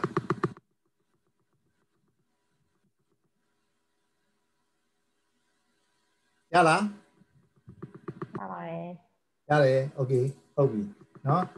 အဲ့ဒီ table ထဲမှာဘာ data တွေရှိတဲ့တော့သိချင်ရင်ဒါဒီ insert statement create statement ဒါဒီ table create လုပ်တဲ့ statement เนาะ table create လုပ်တဲ့ statement insert မဟုတ်ဘူး table create လုပ်တဲ့ statement အဲ့ဒီထဲမှာဘာ data တွေရှိတဲ့တော့သိရင်ကျွန်တော်တို့က query statement ရေးမယ်เนาะ query statement เนาะ select statement ကိုခေါ်တယ် very popular เนาะကျွန်တော်တို့အမြဲတမ်းသုံးရမယ်เนาะဘာရေးမလဲဆိုတော့ကျတော့ဒီမှာ select star from STUDL student နော်ဒီမှာ DBO dot လို့ပြောတာကကျွန်တော်တို့ကပထမဆုံးကျွန်တော်တို့ဒီကောင်ကိုကျွန်တော်တို့ log in လုပ်ခဲ့တုန်းကကျွန်တော်တို့က window administration နဲ့ကျွန်တော်လုပ်ခဲ့တာအဲ့ကြကျွန်တော်တို့ကဒီ database ရဲ့ database ရဲ့ user ဒီတော့ default DBO DBO ဆိုတာ database owner the main user နော် DBO တွေနဲ့ဝင်ပြတာဒီ owner လို့ကြံပြီးမှတ်ထားပြီနော်သိသိတာကြီးထားထားအောင်အဲ့ဒါကိုခဏ ignore လုပ်ထားအောင်ပဲနောက်ကနာမည်က IO set student နော် အဲ့ကြတော့ကျွန်တော်တို့ကအဲ့ဒီထဲမှာရှိတဲ့ data တွေကိုသိကျင်တယ်အဲ့ဒီထဲမှာရှိတဲ့ data တွေအကုန်လုံးရိုက်ထုတ်ပြပါဗျာလို့ပြောရင် select star from student star ဆိုတာပါတော့ all the columns လို့ပြော every column လို့ပြောဟုတ်ပြီနော် select i want to select နော် select လုပ်ပေးပါ star every column ထုတ်ပေးပါ from ဘယ် day ပဲရလဲဆိုတော့ student day ပဲဟောဒီ student day ပဲရလို့ထုတ်ပေးပါလို့ပြောဟုတ်ပြီနော်အဲ့ဒါကိုလည်း run နေတယ်ဆိုရင်အများအား mark လုပ်ပြီးပါမယ်နော် mark mark mark mark လုပ်မယ် highlight လုပ်မယ် highlight လုပ်ပြီးတော့မှ run မယ် execute ဟောဒီမှာထုတ်ပြလိုက်တယ်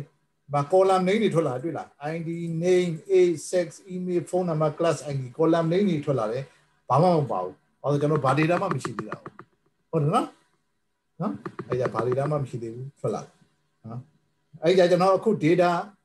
ဒီကိုကျွန်တော်ဒီ table လေးကို data ကျွန်တော်ထည့် data ထည့်နော် အဲ့ဒါကိုပါတော့ insert လုပ်တယ်နော် how to get records from Diva retrieve retrieve record from Diva ဘာလို့ဆိုကြရင် set a record to Diva နော်ဒီခါကျွန်တော်တို့ပါဆိုတော့အဲ့ဒီ table လို့ကိုကျွန်တော် data data data ထည့်ကြည့် နော် data ထည့်မယ်ဘယ်လိုထည့်မလဲဆိုတော့ကျတော့ insert statement သုံးမယ်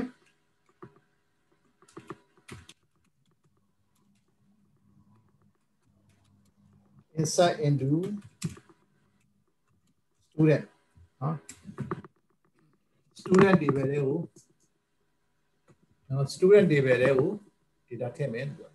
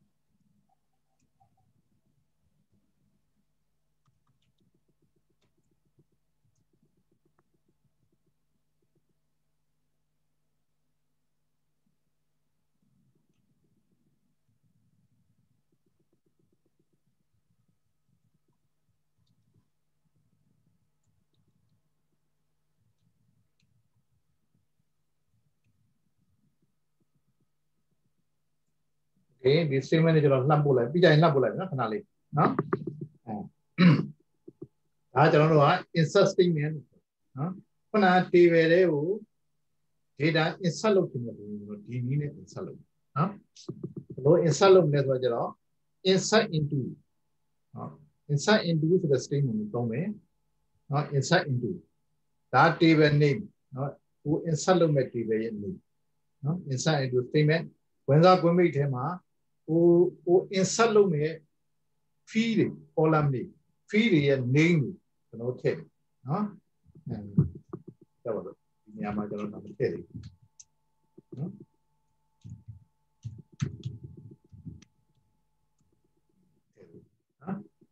နော် fee တွေရဲ့ name တွေကျွန်တော်ထည့်မယ်အဲဒီမှာဒီဒီ table မှာဒီ table ကိုကျွန်တော်ဒီမှာနော်ဒီ plus ကို click လုပ်လိုက်ရှင်ဒီမှာနော် columns တွေရှိတယ် columns ကို click လုပ်လိုက်ရင်အဲ့ဒီအောက်မှာရှိတဲ့ columns တွေထွက်လာနော် columns တွေထွက်လာနော်ခုန column တွေကျွန်တော်ဒီဒီဒီဒီဒီ statement ဒီ statement နဲ့ create လုပ်ခဲ့တဲ့ column နော် column တွေကိုကြည့်လိုက်ရင်ပထမဦးဆုံး column ကဒီမှာဒီမှာ key ပုံလေးပြနေတယ်ဒါဘာကြောင့် key ပုံလေးပြနေတာဆိုတော့ဒီကောင်ကိုကျွန်တော်တို့ primary key အနေနဲ့သတ်မှတ်နော် primary key column တွေမှာ id ဆိုပဲဒါကြောင့်မလို့အဲ့ဒီကောင်တွေကိုကျွန်တော်တို့ကဒီမှာ id column ဒီမှာလည်းအားလို့နော် ဟိုလေးနဲ့ဟိုဟိုကြီးပုံလေးနဲ့ပြကျန်တာတွေရဲ့ရိုးရိုးနော် ID ID collar ရှိတဲ့ name a set နော်ဒီမှာမြင်နေရတယ်ဟုတ်ပြီနော်ကျွန်တော်တို့ create တဲ့ပုံပါလေပေါ့နော်အဲ့ဒီမှာကျွန်တော်တို့ကကျွန်တော်တို့ဒီမှာ table တွေကို data insert လုပ်ပါမယ် insert into student student table တွေကို data insert လုပ်ပါမယ်ဘယ် field တွေထည့်မလဲဆိုတော့ကျတော့ name ရယ် age ရယ် sex ရယ် email ရယ် phone number ရယ်လောလောဆယ် class ID တော့မထည့်သေးဘူးကြာရတယ်ဟောဒီ ဒီ column တွေပဲဒီ field တွေပဲကျွန်တော်ဖြည့်မယ် value တွေကဘာတွေလဲဆိုတော့ main that tree เนาะဒါဒီ name နေရာမှာဒီမှာ name အဲ့နေရာမှာတော့ main that tree เนาะ age နေရာမှာ16 accordingly เนาะ sex နေရာမှာ m เนาะ email နေရာမှာဒီမှာ email ဟုတ်ပြီเนาะဒီမှာ single code နဲ့ single code နဲ့ယူတယ်เนาะ single code နဲ့ယူတယ်နောက်ပြီးကြရင် phone number နေရာမှာ phone number ဒီကိုထည့်တယ်လို့ဟုတ်ပြီเนาะအခုကျွန်တော်ရိုက်ကြည့်လိုက်မယ် ထည့်ကြည့်လိုက်မယ်เนาะဒါကို select လုပ်မယ် select လုပ်ပြီးလို့ရှိရင် execute လုပ်နေဟုတ်ပြီနော် execute လုပ်နေတယ်ဟော one rows affected ဟောထည့်ပြီးသားပြီကဲကဲအားလုံးကျွန်တော်ဒါလေးထည့်လိုက်အောင်ညာလုပ်လို့ရတဲ့လူတွေအကုန်လုံးကျွန်တော် message အားလေးအဲ့ဒါလေးထည့်လိုက်မယ်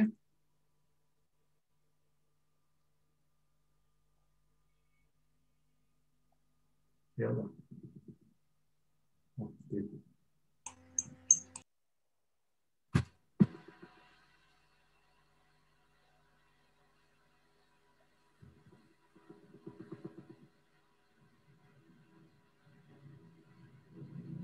ရတယ်နော်ဒီဒီဒီဒီဒီဒီဒီ statement လေးကို copy လုပ်ပြီးတော့ run ကြည့်ကြပါအောင်နော်ကြိုက်ပြီးသားကြည့်လို့ရှိရင်လည်းရပါတယ်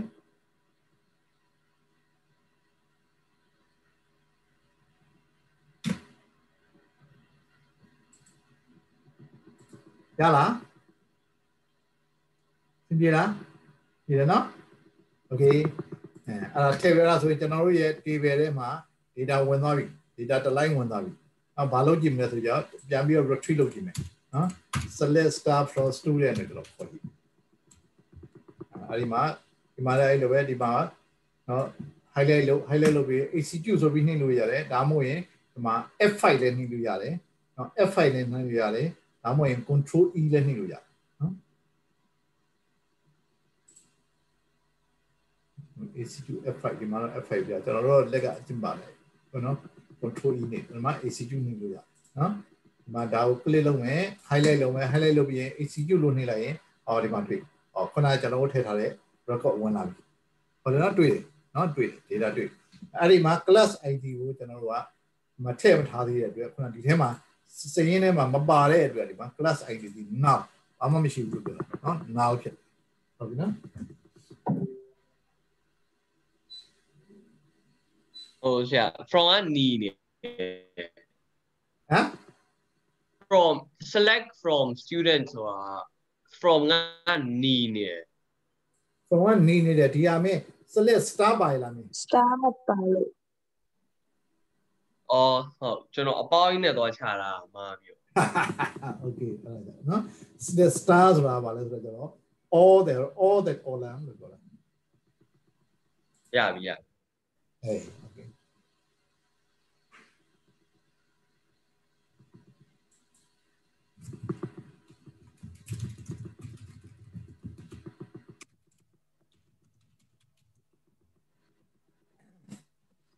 okay okay step start from student ဆိုတော့ဒီမှာဒီမှာကျွန်တော်တို့က record ကြောင်းဝင်သွားပြီဟုတ်ပြီနော်ကဲနောက်ထပ်ကြောင်းနောက်ထပ်ကြောင်းသားတစ်ယောက်ထပ်ပြီးထည့်ကြည့်မယ်နော်ဒီမှာအင်း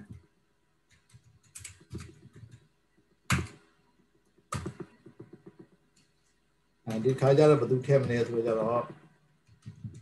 အာဟင်းထည့်ဝင် age ကအမှစကွန် ဒီညရေးရပါနော်နော် HHW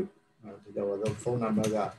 စိုက်တာပေါ့ဗျဆိုကြပါစို့ဗျာဒီမှာမဆိုကြပါစို့နော်စမ်းကြည့်အောင်ဖုန်းနံပါတ်မထည့်သေးဘူးကွာဆိုပြီးတော့ဒါပဲအရင်ထည့်မယ်ဆိုပြီးထည့်လို့ရမလားလို့ကြည့်နော်ဒီခါကျကျွန်တော်တို့ပါဆိုတော့ကျောင်းသား student record တွေကို insert လုပ်မယ်ဘယ် column လေးထည့်မလဲဆိုတော့ name ရဲ့ age ရဲ့ sex ရဲ့ email ရဲ့ထည့်ဆိုပြီးတော့ name ရဲ့ age ရဲ့ sex ရဲ့ email ရဲ့ဆိုပြီးတော့ထည့်လိုက်တယ် run ကြည့်မယ်နော် highlight လုပ်ပြီးတော့ run ကြည့်မယ် ဟော error ပြတယ်နော် error ပြတယ်ဟုတ်ပြီနော် error ကဘာလဲဆိုတော့ cannot insert the null into column phone number not table cs training.dbo.students column does not allow null nulls no insert fields no? Cannot insert value to null into the column phone number လေ phone number ထဲကို null ထည့်လို့မရဘူးတဲ့။အဲဆိုကျွန်တော်တို့ကပါနော်။ကျွန်တော်တို့အခု student တွေကိုထည့်လိုက်တော့ကြာကျွန်တော်တို့ရဲ့ column ထဲမှာ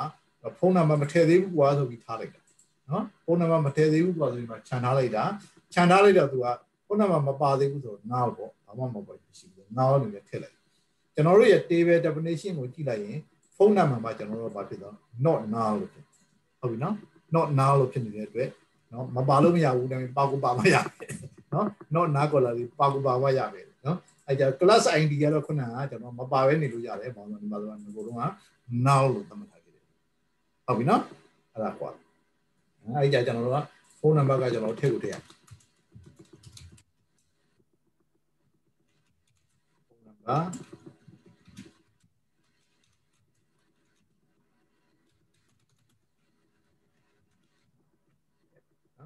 အဲ့ဒါဆိုလို့ရှိရင်ကျွန်တော်တို့က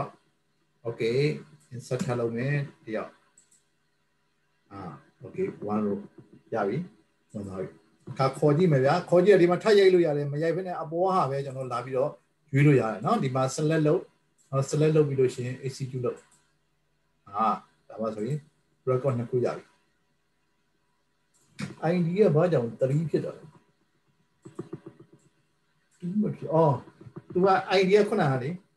ခုနကပါဆိုကျွန်တော်တို့က insert ဆိုပြီးတစ်ခါလုပ်တဲ့တော့ fail ဖြစ်သွားတယ်နော် fail ဖြစ်သွားတယ်ဒါပေမဲ့တော့ idea တော့တက်သွားတယ်ပြော3ဖြစ်သွားတယ်အခု2ပြောက်သွားတယ်ကျွန်တော်တို့ထင်မှာကိစ္စမရှိဘူးနော် doesn't matter နော် doesn't matter ကျွန်တော်တို့ဒီကောင်ဆို as long as ကျွန်တော်တို့မှာ unique ဖြစ်နေနော်ဟို duplicate ဖြစ်နေပြီးတာပဲ unique ဖြစ်နေ unique ဖြစ်နေပြီးတာဟုတ်ပြီနော်အဲနောက်တော့ကဲနောက်တစ်ယောက်ထပ်ထည့်ကြည့်ကြပါဦးလို့ဒီဒီမှာ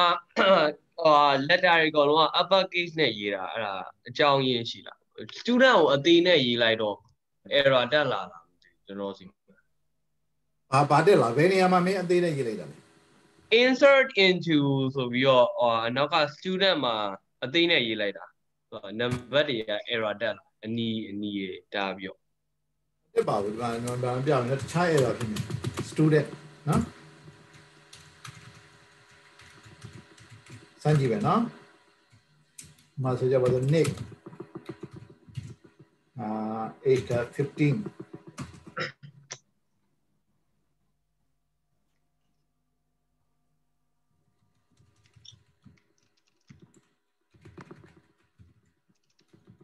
တက်ကြည့်မယ်မ student အသေးနဲ့ပဲနော်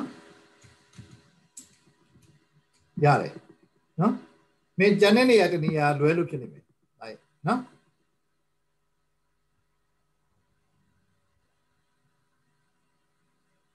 ဟေး နော်ကျန်တဲ့နေရာလိုအပ်လို့ဖြစ်နေမယ်မျက်စစ်ကြည့်အောင်ဟုတ်ပြီနော်စလုံးအကြီးသေးရဲ့ပြဿနာမရှိဘူးနော်နော် okay အဲအဲ့ဒါဆိုရင်ဒီမှာ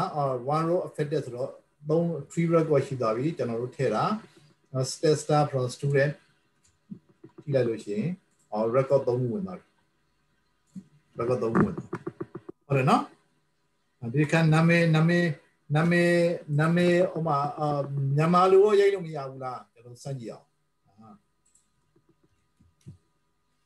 name နေရာကိုခုနကျွန်တော်တို့ကမ n voucher လုပ်ပြီးတဲ့အတွက်မြန်မာလိုလည်းရိုက်လို့ရတယ်နော်မ name နေရာမှာဆိုကြတော့ဘယ်သူထည့်မလဲဆိုကြတော့မ ek ခိုင်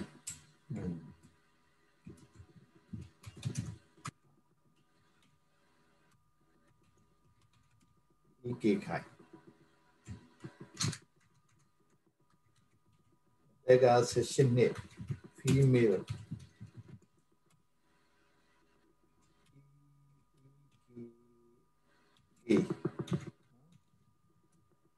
ဟောတော့နော်အဲဒီလိုလည်းထည့်မယ်အဲဒါလိုပဲဒီဟာတစ်ခုလုံးကိုတော့ select လုပ်ပြီးလို့ရှိရင်တော့တော့ execute လုပ်နေတယ်မယ် all one row fit ရတယ်ဟုတ်တယ်နော်အဲ့ဒါမှကြည့်လိုက်ရင်အဲ့ဒါဟိုတချို့လည်းမြန်မာသား properly configure မဖြစ်တဲ့ computer တွေပါဆိုတော့နည်းနည်းပြဿနာရှိရှိတယ်နော်ခုလောလောဆယ်ကျွန်တော်တို့မြန်မာလိုသာထားပြီးအင်္ဂလိပ်လိုပဲ focus လုပ်တာကောင်းပါနော် အာအော်ရတာထွက်လိုက်နော် question ပတ်တွေထွက်လာထဲတော့တော့ရတယ် question ပတ်တွေထွက်လာကျွန်တော် configure လုပ်အောင်နော်အာဒီမှာ EK ခိုင်ဝင်တော့ဝင်သွားတယ်ဒီမှာအပြတာမှာ display လုပ်တာမှာသူကဖြစ်နေတာနော် display လုပ်တာမှာဖြစ်နေမှာစမ်းကြည့်အောင်နော် select star အာလို့ရထားလိုက်ဒီသားနော်ဒီမှာ question ပတ်တွေလည်းဖြစ်ကဲကျွန်တော်တို့ထဲမှာခဏထားလိုက်မယ်နော်ဒီနေရာဒီ EK ခိုင်နော်အဲ ကျွန်တော်တို့ကျွန်တော်တို့ database ထဲမှာဒီမှာ insert statement နဲ့ insert လုပ်သွားတာကျွန်တော်တို့ record 5ခုဝင်သွားပြီဟုတ်ပြီနော်5ခုဝင်သွားဒီနေရာဖြစ်ကျွန်တော်တို့ table create လုပ်လို့ရတယ်အဲနောက်ပြီးကြရင် table တွေကို data တွေကျွန်တော်တို့ကဒီလိုထည့်လို့ရတယ်နော်အဲ့ဒီထဲမှာရှိတဲ့ data တွေကိုထည့်ပြီးသား data တွေကိုထုတ်ယူခြင်းနဲ့လိုချင်တယ်ထုတ်ခြင်းတယ်ဆိုလို့ရှိရင် select star from table name ဆိုရင်ဒီမှာ F5 run လုပ်လို့ရှိရင်အဲ့ထဲမှာရှိတဲ့နော် data တွေအကုန်ထွက်လာ data တွေအကုန်ထွက်လာနော်အဲအဲ့ဒီမှာကျွန်တော်တို့ကဒီ select statement ကိုအဲဒီတစ်ခါကျွန်တော်တို့ကဘာလို့ဆိုတော့ကျွန်တော်ဟို ID 4နော် ID 4တခုပဲလိုချင်တယ် rule number 4ပေါ့ဆိုပါတော့နော် ID 4တခုပဲလိုချင်တယ်လို့ပြောရင် select star from student ဒီမှာကျွန်တော် conditional statement လို့ခေါ်တယ် select ရဲ့နောက်မှာ where နော် where နော် id equal to 4ဒါဆိုလို့ချင်း id 4တခုပဲလိုချင်တယ်လို့ပြောလိုက်ဟုတ်ပြီနော်အဲ့ဒါကိုလည်း run ကြည့်မယ် run ကြည့်ရင်ဒီမှာ id 4တခုပဲရ okay လွယ်ပါလေနော်နော်အဲ့ဒီမှာဒီမှာပြန်ကြည့်လိုက်အောင်ဟိုအဲဆိုကြအဲ့ဒီလိုပဲဟိုမှာဟိုပေါ်နာမည်ဒီဟိမ့်ချက်ဝင်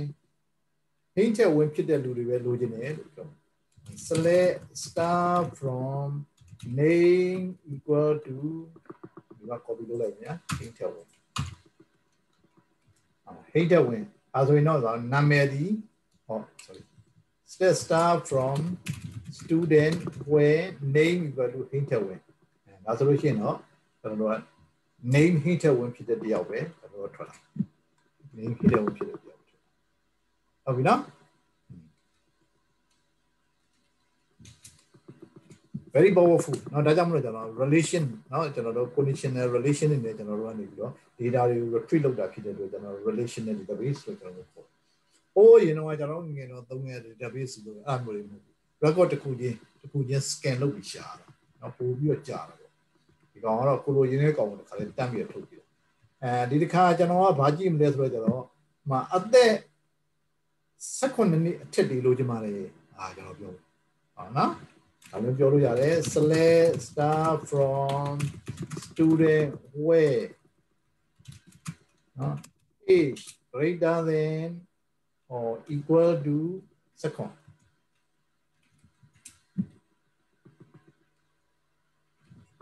control E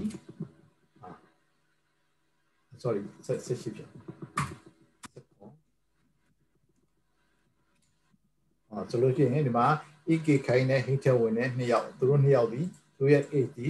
နော် greater than or equal to ဆက်ခုံဖြစ်တဲ့အတွက်သူတို့နှစ်ယောက်ထွက်လာ alright okay အဲအများကြီးပဲဒီမှာအများကြီးလုပ်လို့ရတယ်နော်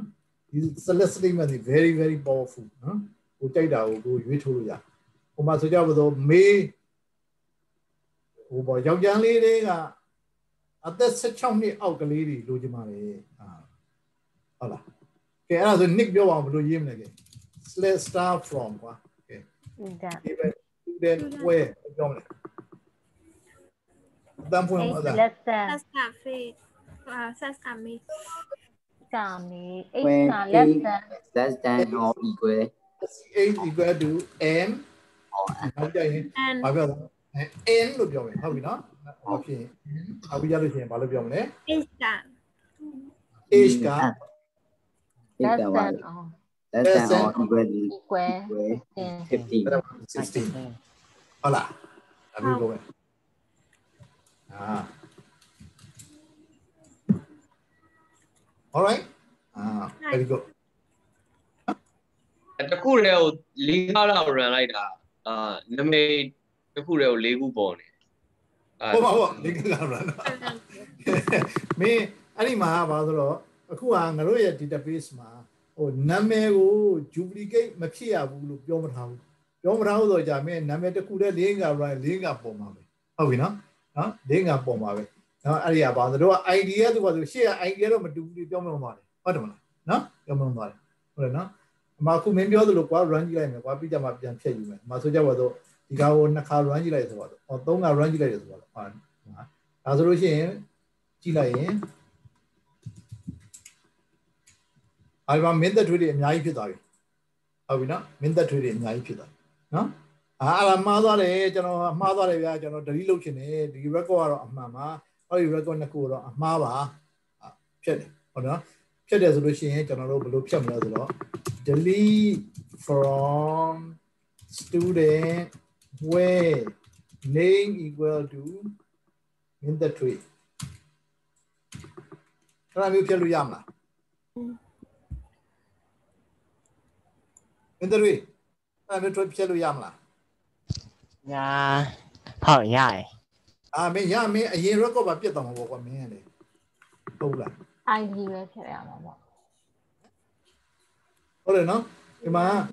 name equal to method တွေဒီမှာအဲ့လိုမဖြတ်ခင်မှာအဲ့ဒီလိုမျိုးဒီမှာ condition statement အတူတူပဲမဖြတ်ခင်မှာဗာပြောကိုလိုချင်တဲ့ condition ဟုတ်ကလားဆိုတာကိုအဲ့လိုတကယ်မဖြတ်ခင်မှာကိုကအရင် select ရင်လို့ဟုတ်ပြီနော် select ရင်လို့မသေးကြရင် ဘာသေးကြလဲ delete လို့ delete ကို update လို့လုပ်မယ်ဆိုလို့ရှိရင်မလုပ်ခင်မှာ select ရင်လုပ်တာကောင်းဥပမာဆိုကြပါတော့ဒီမှာနော် select star from student when name equal to ခုနကပြောတဲ့အတိုင်း name equal to min that tree လို့ပြောရင် min that tree မှာ record 3ခုရှိတယ်3ခုသလုံးထွက်လာဟုတ်တယ်နော်ဟုတ်တယ်နော် အဲ့ကြတော့ delete from student when name equal to min that tree လို့ပြောလိုက်ရင်ဘာဖြစ်သွားမလဲဆိုတော့ကြတော့နော်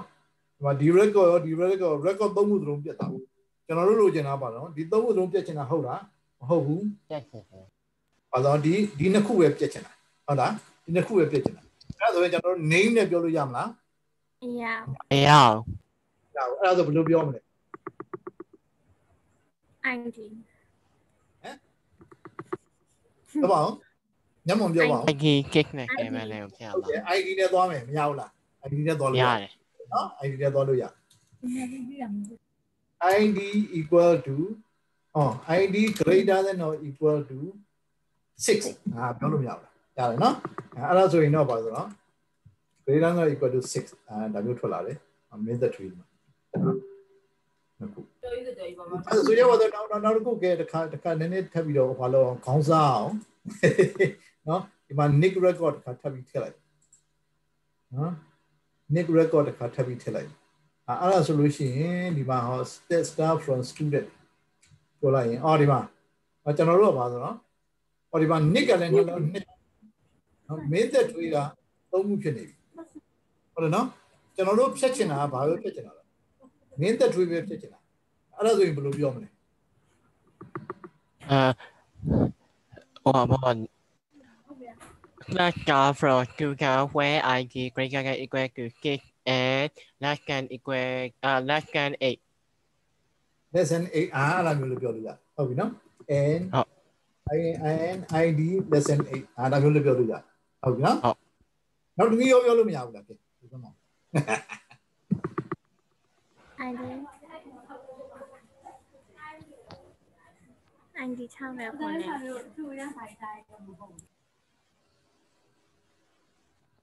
အဲပြောပါအောင်အနည်းလေးပြောပြောပြောလို့ရတယ်ဟုတ်တယ်နော် ID 6 or 7 or OR on နဲ့အာ OR on နဲ့လည်းရတယ်ဟုတ်တယ် ID greater than or equal to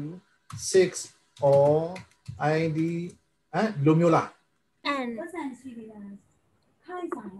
equal ကိုဆရာ equal နဲ့ပဲတုံးပြီးတော့6 ID equal 6 or ID equal 7ဆိုရင်နော် ID equal 7လို့လို့ပါပြောလို့ရင်မှန်လားမှန်အဲ့နဲ့ဆရာမှန်ပါတယ်ရှင်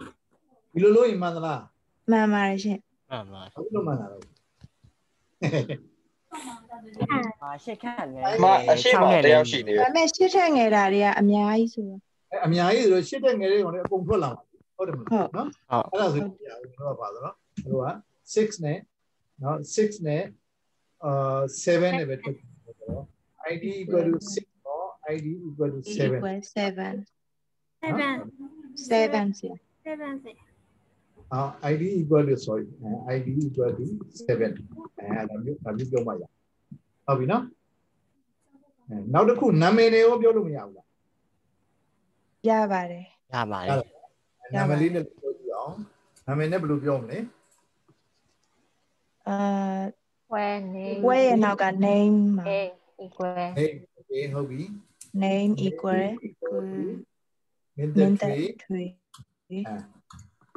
မင်းသက် min ထွေ that ထွေအဲ min that ထွေ and ပေါ့ဒီခါကျ and and နဲ့ဟုတ်ပြီနောက်ကြတော့ and id equal id id equal uh 6 or id equal 7ဟုတ်လားဟုတ်လားဟုတ်လားအဲ့ဒါခုနကခုပဲပြသွားမှာမဟုတ်လား kick or camera ကို ဟုတ်တယ် and နဲ့မှာအခုနှစ်ခုလုံးအဲ့နဲ့မအခင်ပြေမယ်ခင်လေ id kick and id camera မ id 6 and id 7ဒီလိုလားဟုတ်အဲ့တော့မှနှစ်ခုလုံးပြသွားမှာမဟုတ်နော်ဝင်းများ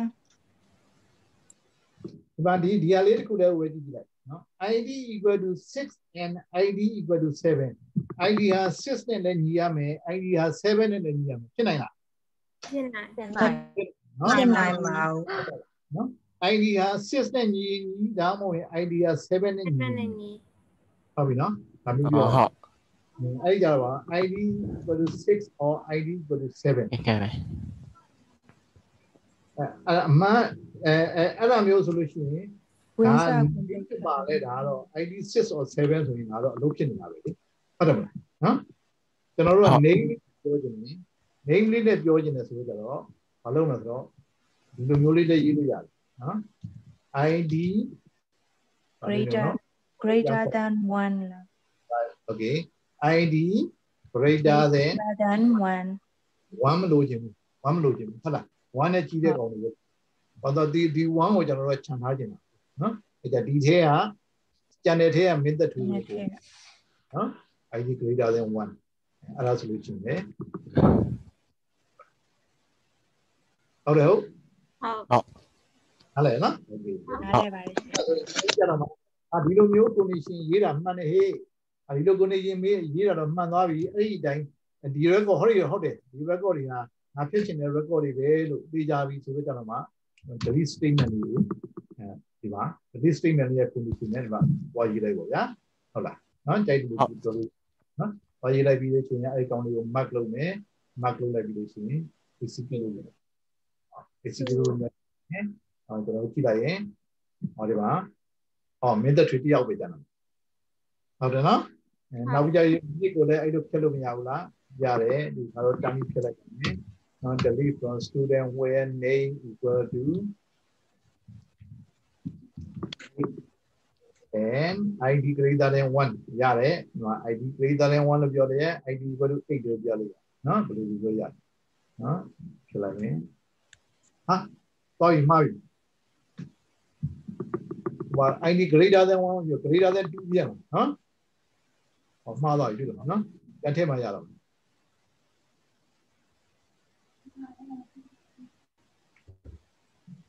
nick တွေအကုန်ပြတ်သွားပြီ အာဒီပါဆိုလို့ရှိရင်အော် nick ပြန်ဝင်လာပြီဟုတ်တယ်ဒီပြန်ဖြစ်လာဘောပေါက်တယ်နော်ဟုတ်ဘောပေါက်တယ်နော်ဟုတ်ကဲ့အာနောက်ပြလို့ရှိရင်ဒီမှာဒါ delete လုပ်တာနော် delete record record one record မဟုတ်ဘူး2 record လည်းဖြစ်နိုင်နော် delete record အဲနောက်ပြရင် update လည်းလုပ်လို့ရတယ်တဲ့နော်ဒါပါလို့ အာဒီမှာ EK ရဲ့နာမည်အရဒီမှာ question mark question mark တွေပေါ်နေတယ်ဒါကြောင့်မလို့မြန်မာလိုမထားတော့ပါဘူးအင်္ဂလိပ်လိုပဲထားပါတော့မယ်ဒါကြောင့်မလို့ကျွန်တော်ကအဲ့ဒီနာမည်ကိုကျွန်တော်အင်္ဂလိပ်လိုပြောင်းမယ်ပြောင်းမယ်ဆိုရင်ကျွန်တော်တို့ကဘာလုပ်မလဲ update update ဟုတ်ပြီနော်ဘယ် fee ကိုပြောင်းမှာလဲဘယ် column ကိုပြောင်းမှာလဲ name name column ဝေးဝေး update နော်အဲ့တော့ဘယ်တွေလဲနော်တေးပဲရင်ပြော ဟုတ်တယ်မလား table student then update student name student ဘယ် table ကိုကြောင်းမှာလဲကြောင်းရတဲ့ကောင်တွေကို set လုပ်တယ် set နော် name well name ကို i ဟုတ်လားနော် ki kai နော်နောက်နာမည် when id 5တို့တို့ပြောလိုက်လို့ရဟုတ်ပြီ နော်5ဟုတ်နော်အဲ့ဒါဆိုရင်ကျွန်တော်တို့ပြောင်းလိုက်မယ်ဒါကို execute လုပ်လိုက်မယ်အဲ one record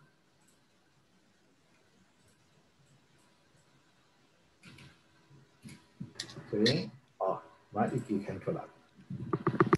update statement နော် update statement လည်း update update လုပ်ချင်တဲ့ဘယ် table လဲ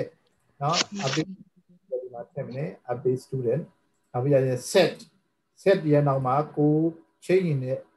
name ကိုချိန်ရင်တဲ့ field table အဲ sorry ကိုချိန်ရင်တဲ့ column နော် column name နဲ့ပဲအဲ့ column တွေကိုချိန်ရင်တဲ့ကောင်ထည့်ပဲနှစ်ခုတည်းထည့်လို့ရတယ်နော်။ဘာလို့ကြောက်တော့အာ e ခိုင်းအသက်ကမှားတော့တယ် age equal to 19နှစ်ဖြစ်ရမှာ19နှစ်အဲဒါမျိုးလည်းလုပ်လို့ရဟုတ်တယ်နော်။နော် update student set ဟောအဲမျိုးပြောလို့ရရင်ဟုတ်တယ်လားနာမည်ကလည်း e ခိုင်းဖြစ်သွားပြီအသက်ကလည်း19ဖြစ်သွားပြီ ဟုတ်တယ်နော်ဟုတ်ကဲ့အဲ့ဒါမျိုးကြောင်းလို့ရတယ်ဒါဒီ update update statement ဘယ်ဆိုလို့ရှိရင်ကဲအခုနော်ကျွန်တော်တို့ table နော် database ဘယ်လို create လုပ်တယ်ဆိုတာ create လုပ်တတ်သွားပြီနော် database new database အောက်ကနေပြီးတော့နော်ကျွန်တော်တို့ဒီမှာ database name ထည့်ပြီးတော့ကျွန်တော် database create လုပ်တယ်ဟောခုန server name ခုန login လုပ်တဲ့အခါမှာ dot dot ရဲ့ရှိပါလိမ့်မယ်ခုန dot dot ခုန dot SQL express လို့ကျွန်တော်ဝင်ခဲ့တယ် dot ဒီကျွန်တော်ရဲ့ကျွန်တော်ရဲ့ computer name ဒီ id-zoton-nb နော်အဲ့ dot လေးဒီဒီဟာကိုကိုးစားပြုနော်ဟုတ်ပါတော့နော်ဥတော်ရင်ကြည့်လို့အာနောက်ပြီးကြလို့ရှိရင်ကျွန်တော်အဲအဲ့မှာကျွန်တော်တို့ database ရပြီဆိုလို့ရှိရင်အဲ့ database ရဲ့အောက်မှာကျွန်တော် table တွေရှိတယ်နော်အဲ့ table တွေ data တွေကိုသိမ်းမယ်ဆိုလို့ရှိရင် table တွေနဲ့သိမ်းရမယ် ပြီးတော့ table create လုပ်မယ် student table create လုပ်မယ်ဘယ်လိုလုပ်မလဲဒီလိုလုပ်နော် create table ဆိုတဲ့ statement လေးနဲ့သုံးမယ်သုံးပြီးတော့ကျွန်တော် table create လုပ်မယ်လုပ်ပြီးလို့ရှိရင်အဲ့ table ထဲမှာရှိတဲ့ data တွေကို retrieve လုပ်ချင်တယ်ဆိုလို့ရှိရင် select statement နဲ့ retrieve လုပ်မယ် select star from student ဟုတ်ပြီနော် select star from student ဆိုပြီးတော့ retrieve လုပ်မယ်နောက် record ထည့်ချင်တယ်ဆိုလို့ရှိရင်ဒီနည်းနဲ့ထည့်လို့ရတယ် inside into student ဆိုပြီးတော့ကျွန်တော်တို့ ဟုတ်ပြီနော်ဒီမှာကိုထည့်ခြင်းနဲ့ column တွေထည့်မယ်နောက်ပြီးရင်သူ့ရဲ့ value တွေဒီမှာထည့်မယ်အဲ့ဒီမှာငကိုက null လို့ null လို့လို့ရပါတယ် null ဖြစ်ဖြစ်လို့ရပါတယ်လို့သတ်မှတ်ထားတဲ့ column တွေဆိုလို့ရှိရင်ဒီမှာမပါဘဲနေလို့ရတယ်နော် null မဖြစ်တော့ column တွေဆိုလို့ရှိရင်တော့ဒီမှာ null ဖြစ်လို့မရတဲ့ not null column တွေဆိုရင်ဒီမှာအခုပါမှရနော်အဲ့ဒီလိုအဖြစ်ကျွန်တော် insert တွေလုပ်ခဲ့တယ် insert တွေလုပ်ပြီးလို့ရှိရင်ကျွန်တော်တို့က update လုပ်မယ်ဆိုလို့ရှိရင် update နော် delete လုပ်ချင်တယ်ဆိုလို့ရင် delete နော် condition ကဒီ select နောက်က condition နဲ့အတူတူပဲအဲ့ကြကျွန်တော် group like this နေနဲ့နော် delete ရဲ့ပွဲကိုဒီမှာတွားပြီးတော့ run ငင်မှာ run ငင်မှာကျွန်တော်တို့က select statement နဲ့ကိုလိုချင်တဲ့ record တွေထွက်လာဆိုတော့အရင် run ကြည့် run ကြည့်လို့ okay ပြီဆိုတော့မှကျွန်တော်တို့က delete ကိုလုပ်တာကောင်းနော်အဲ့လိုမျိုးမှားတယ် update လည်းမှားတယ်ဒီလိုနော် အဲ့လိုပဲ update student ဒီမှာ update လုပ်တဲ့ column name တွေဒီမှာရေးမယ်ရေးပြီးလို့ရှိရင်ဒီမှာ condition ရေးမယ် id equal to 5ဟုတ်ပြီနော်ဒီနေရာပြင်ကျွန်တော်တို့ဒါကနေ့ဆိုရင်ဟောတော်တော်သိသွားပြီ database create လုပ်လုပ်တတ်သွားပြီ table တွေ create လုပ်တတ်သွားပြီနော် data တွေ insert လုပ်တတ်ပြီ update လုပ်တတ်ပြီ delete လုပ်တတ်ပြီ select လုပ်တတ်ပြီဟုတ်ပြီနော် select လုပ်တတ်ပြီ condition တွေနဲ့ select လုပ်တတ်ပြီနော် အဲအဲ့ဒီမှာနောက်တစ်ခုနည်းနည်းလေးထပ်ပြီးပြောလိုက်အောင်မယ်နော် select နော် select star from student ဟုတ်တယ်နော်ဒါကျွန်တော်တို့ခုနသုံးနေတာ select star from student နောက်ပိုင်းနိုင်တော့ table တွေကဟာတခါလေကျွန်တော်တို့ table ကြီးတွေဆိုလို့ရှိရင်ဟိုပေါ် record တွေကတန်းတန်းကနန်းထိကြည့်ပြီးရှိနိုင်တယ်ဟုတ်လားနော်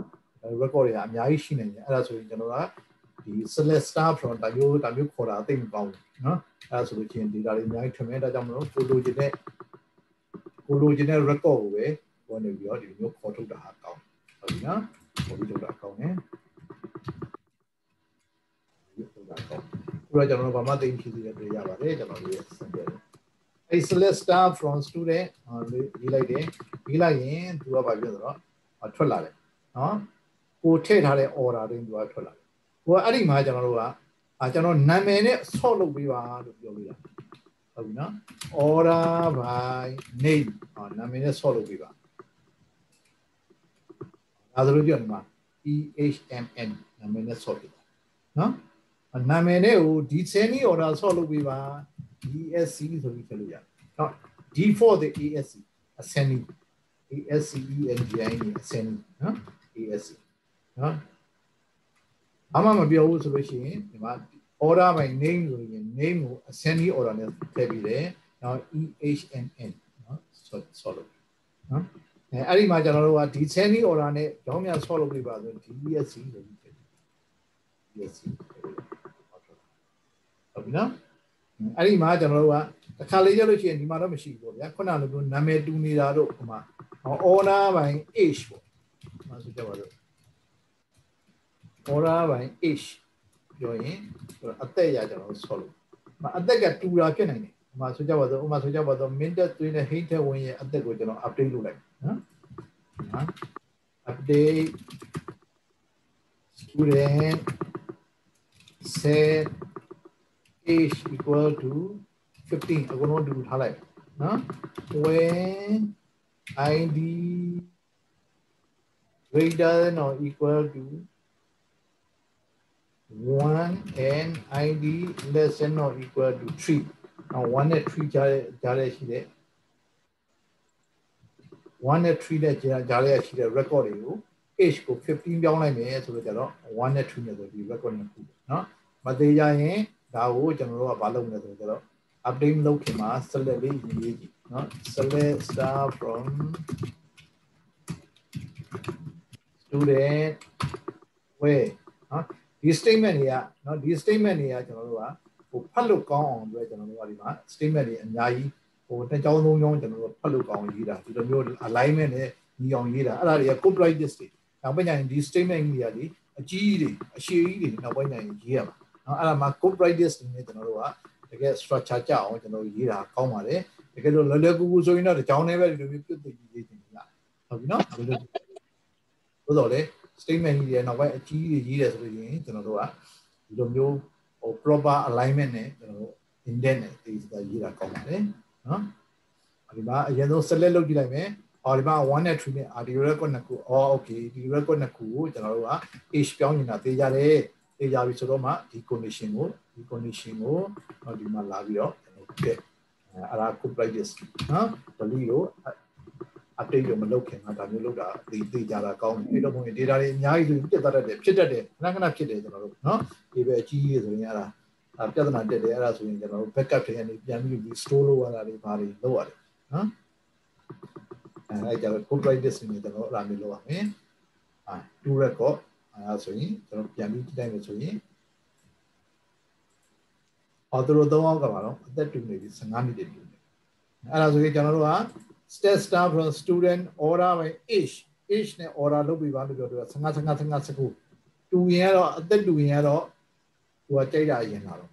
နော်အဲ့ဒီမှာကျွန်တော်တို့ပါတော့အသက်တူရင် name နဲ့ sort လုပ်ပါအာဒါမျိုးပြောလို့ရနော် order by name order by age age နဲ့အရင် sort လုပ်မယ်တကယ်လို့ age ကတူနေရဆိုလို့ရှိရင် name နဲ့ဒုတိယဒုတိယ sorting ဒီ name နဲ့ sort လုပ်ပါလို့ပြောပါပြောမယ်အဲ့ဒါမျိုးဆိုရင်ကြည့်လိုက် ဟောဒီမှာဆိုလို့ရှိရင်ပါပြီနော်အသက်တူတယ်အသက်တူတယ်ဆိုလို့ရှိရင်ကျွန်တော်တို့ပါပြီနော် HNN ဟောနော် name နဲ့ဆိုလို့ဟုတ်ပြီနော်ဟုတ်ကဲ့လွယ်တယ်နော်ဒီကောင်ဒီလေ့လာတာလွယ်ပါတယ်နော်ဒါပေမဲ့လေ့လာစရာတွေအများကြီးညာလည်းပေါ်ပေါ်ဖြစ်တယ်လေ့လာစရာတွေလည်းအများကြီးနောက်ကိုလည်းကျွန်တော်တို့စစ်စစ်စစ်စစ်ပြီးတော့လေ့လာဒီလိုချင်းကျွန်တော်တို့ basic very basic insert update delete statement ကြီး select statement ကြီး create pivot statement ကြီး delete ပြီးပါပြီတော်တော်လေးပြီးပါပြီဟုတ်ပြီနော်ဟုတ် okay နောက်နေ့ကျရင်ကျွန်တော်အဲ့ဒီကောင်တွေကိုနောက် table တွေ create လုပ်ခိုင်းမယ်နောက်ပြီးကြလို့ရှိရင်အဲကျွန်တော်တို့အဲ့လို insert update delete delete statement တွေစမ်းကြည့်ကြပါဗျာဟုတ်တယ်မလားနော်စမ်းကြည့်ပါဟုတ်ပြီနော် okay okay ရရှိပါသေးလားတရားဟိုဟာလေ on my face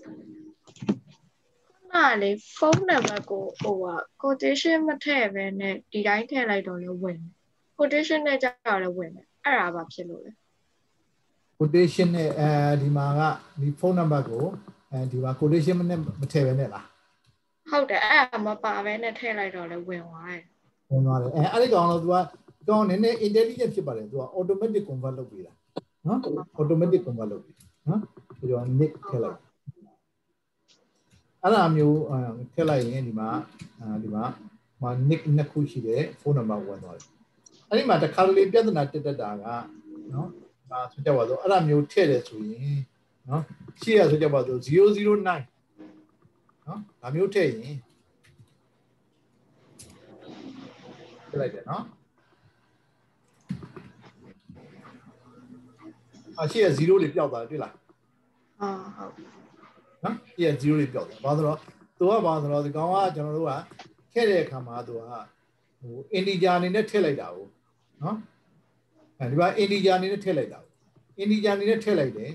တော့ integer အနေနဲ့ထည့်လိုက်တော့ကြာသူက convert လုပ်မယ်ဆိုတော့ကြတော့ဒီကောင်ရဲ့ integer value ကဒါပဲရှိတော့ကြတော့သူကရှေ့က0တွေပျောက်သွားတယ်နော်0တွေပါပါခြင်းနဲ့ဟေ့ဆိုလို့ရှိရင်အဲဒီမှာကုန်နေတယ်ပါကြာလက်ထဲမှာ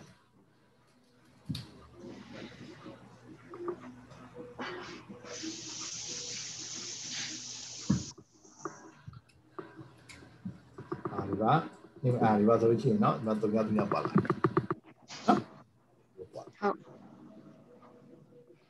alright okay ကဲအဲ့ဆိုရင်ဗာမေးဦးမယ်ဗာမေးဦးမယ်မေးလို့ရပါတယ်ခဏစမင်းညာအေးစစ်တဲ့သကောင်လေးတင်လို့ရတယ်ဟာ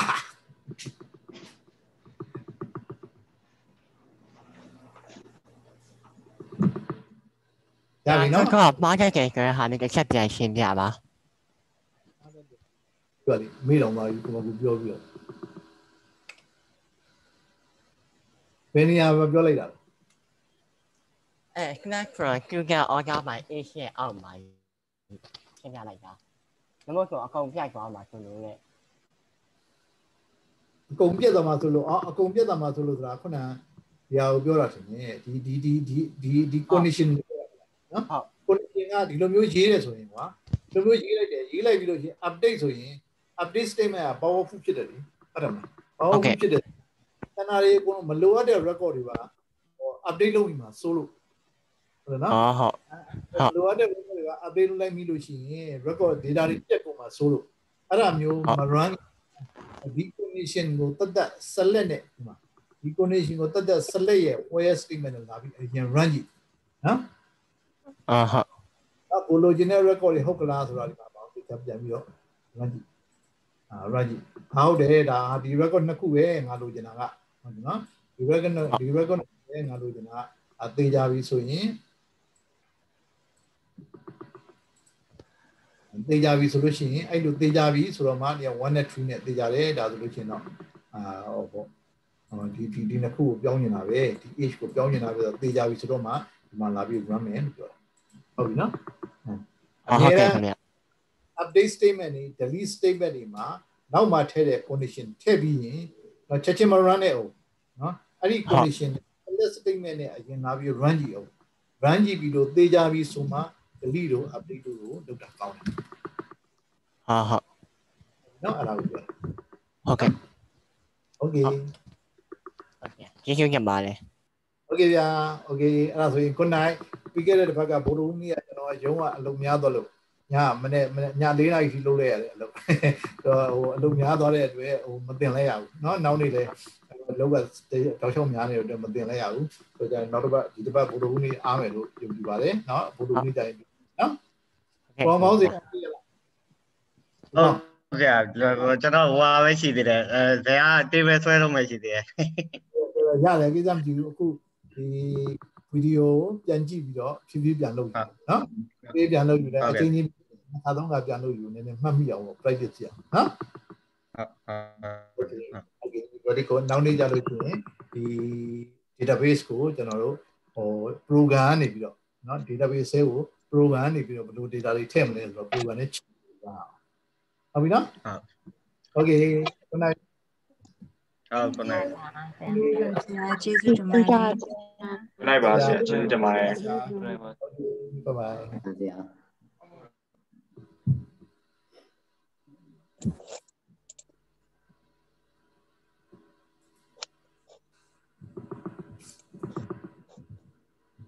ေးဇူးပါဆရာခုနက okay ဗျာကျေးဇူးပါ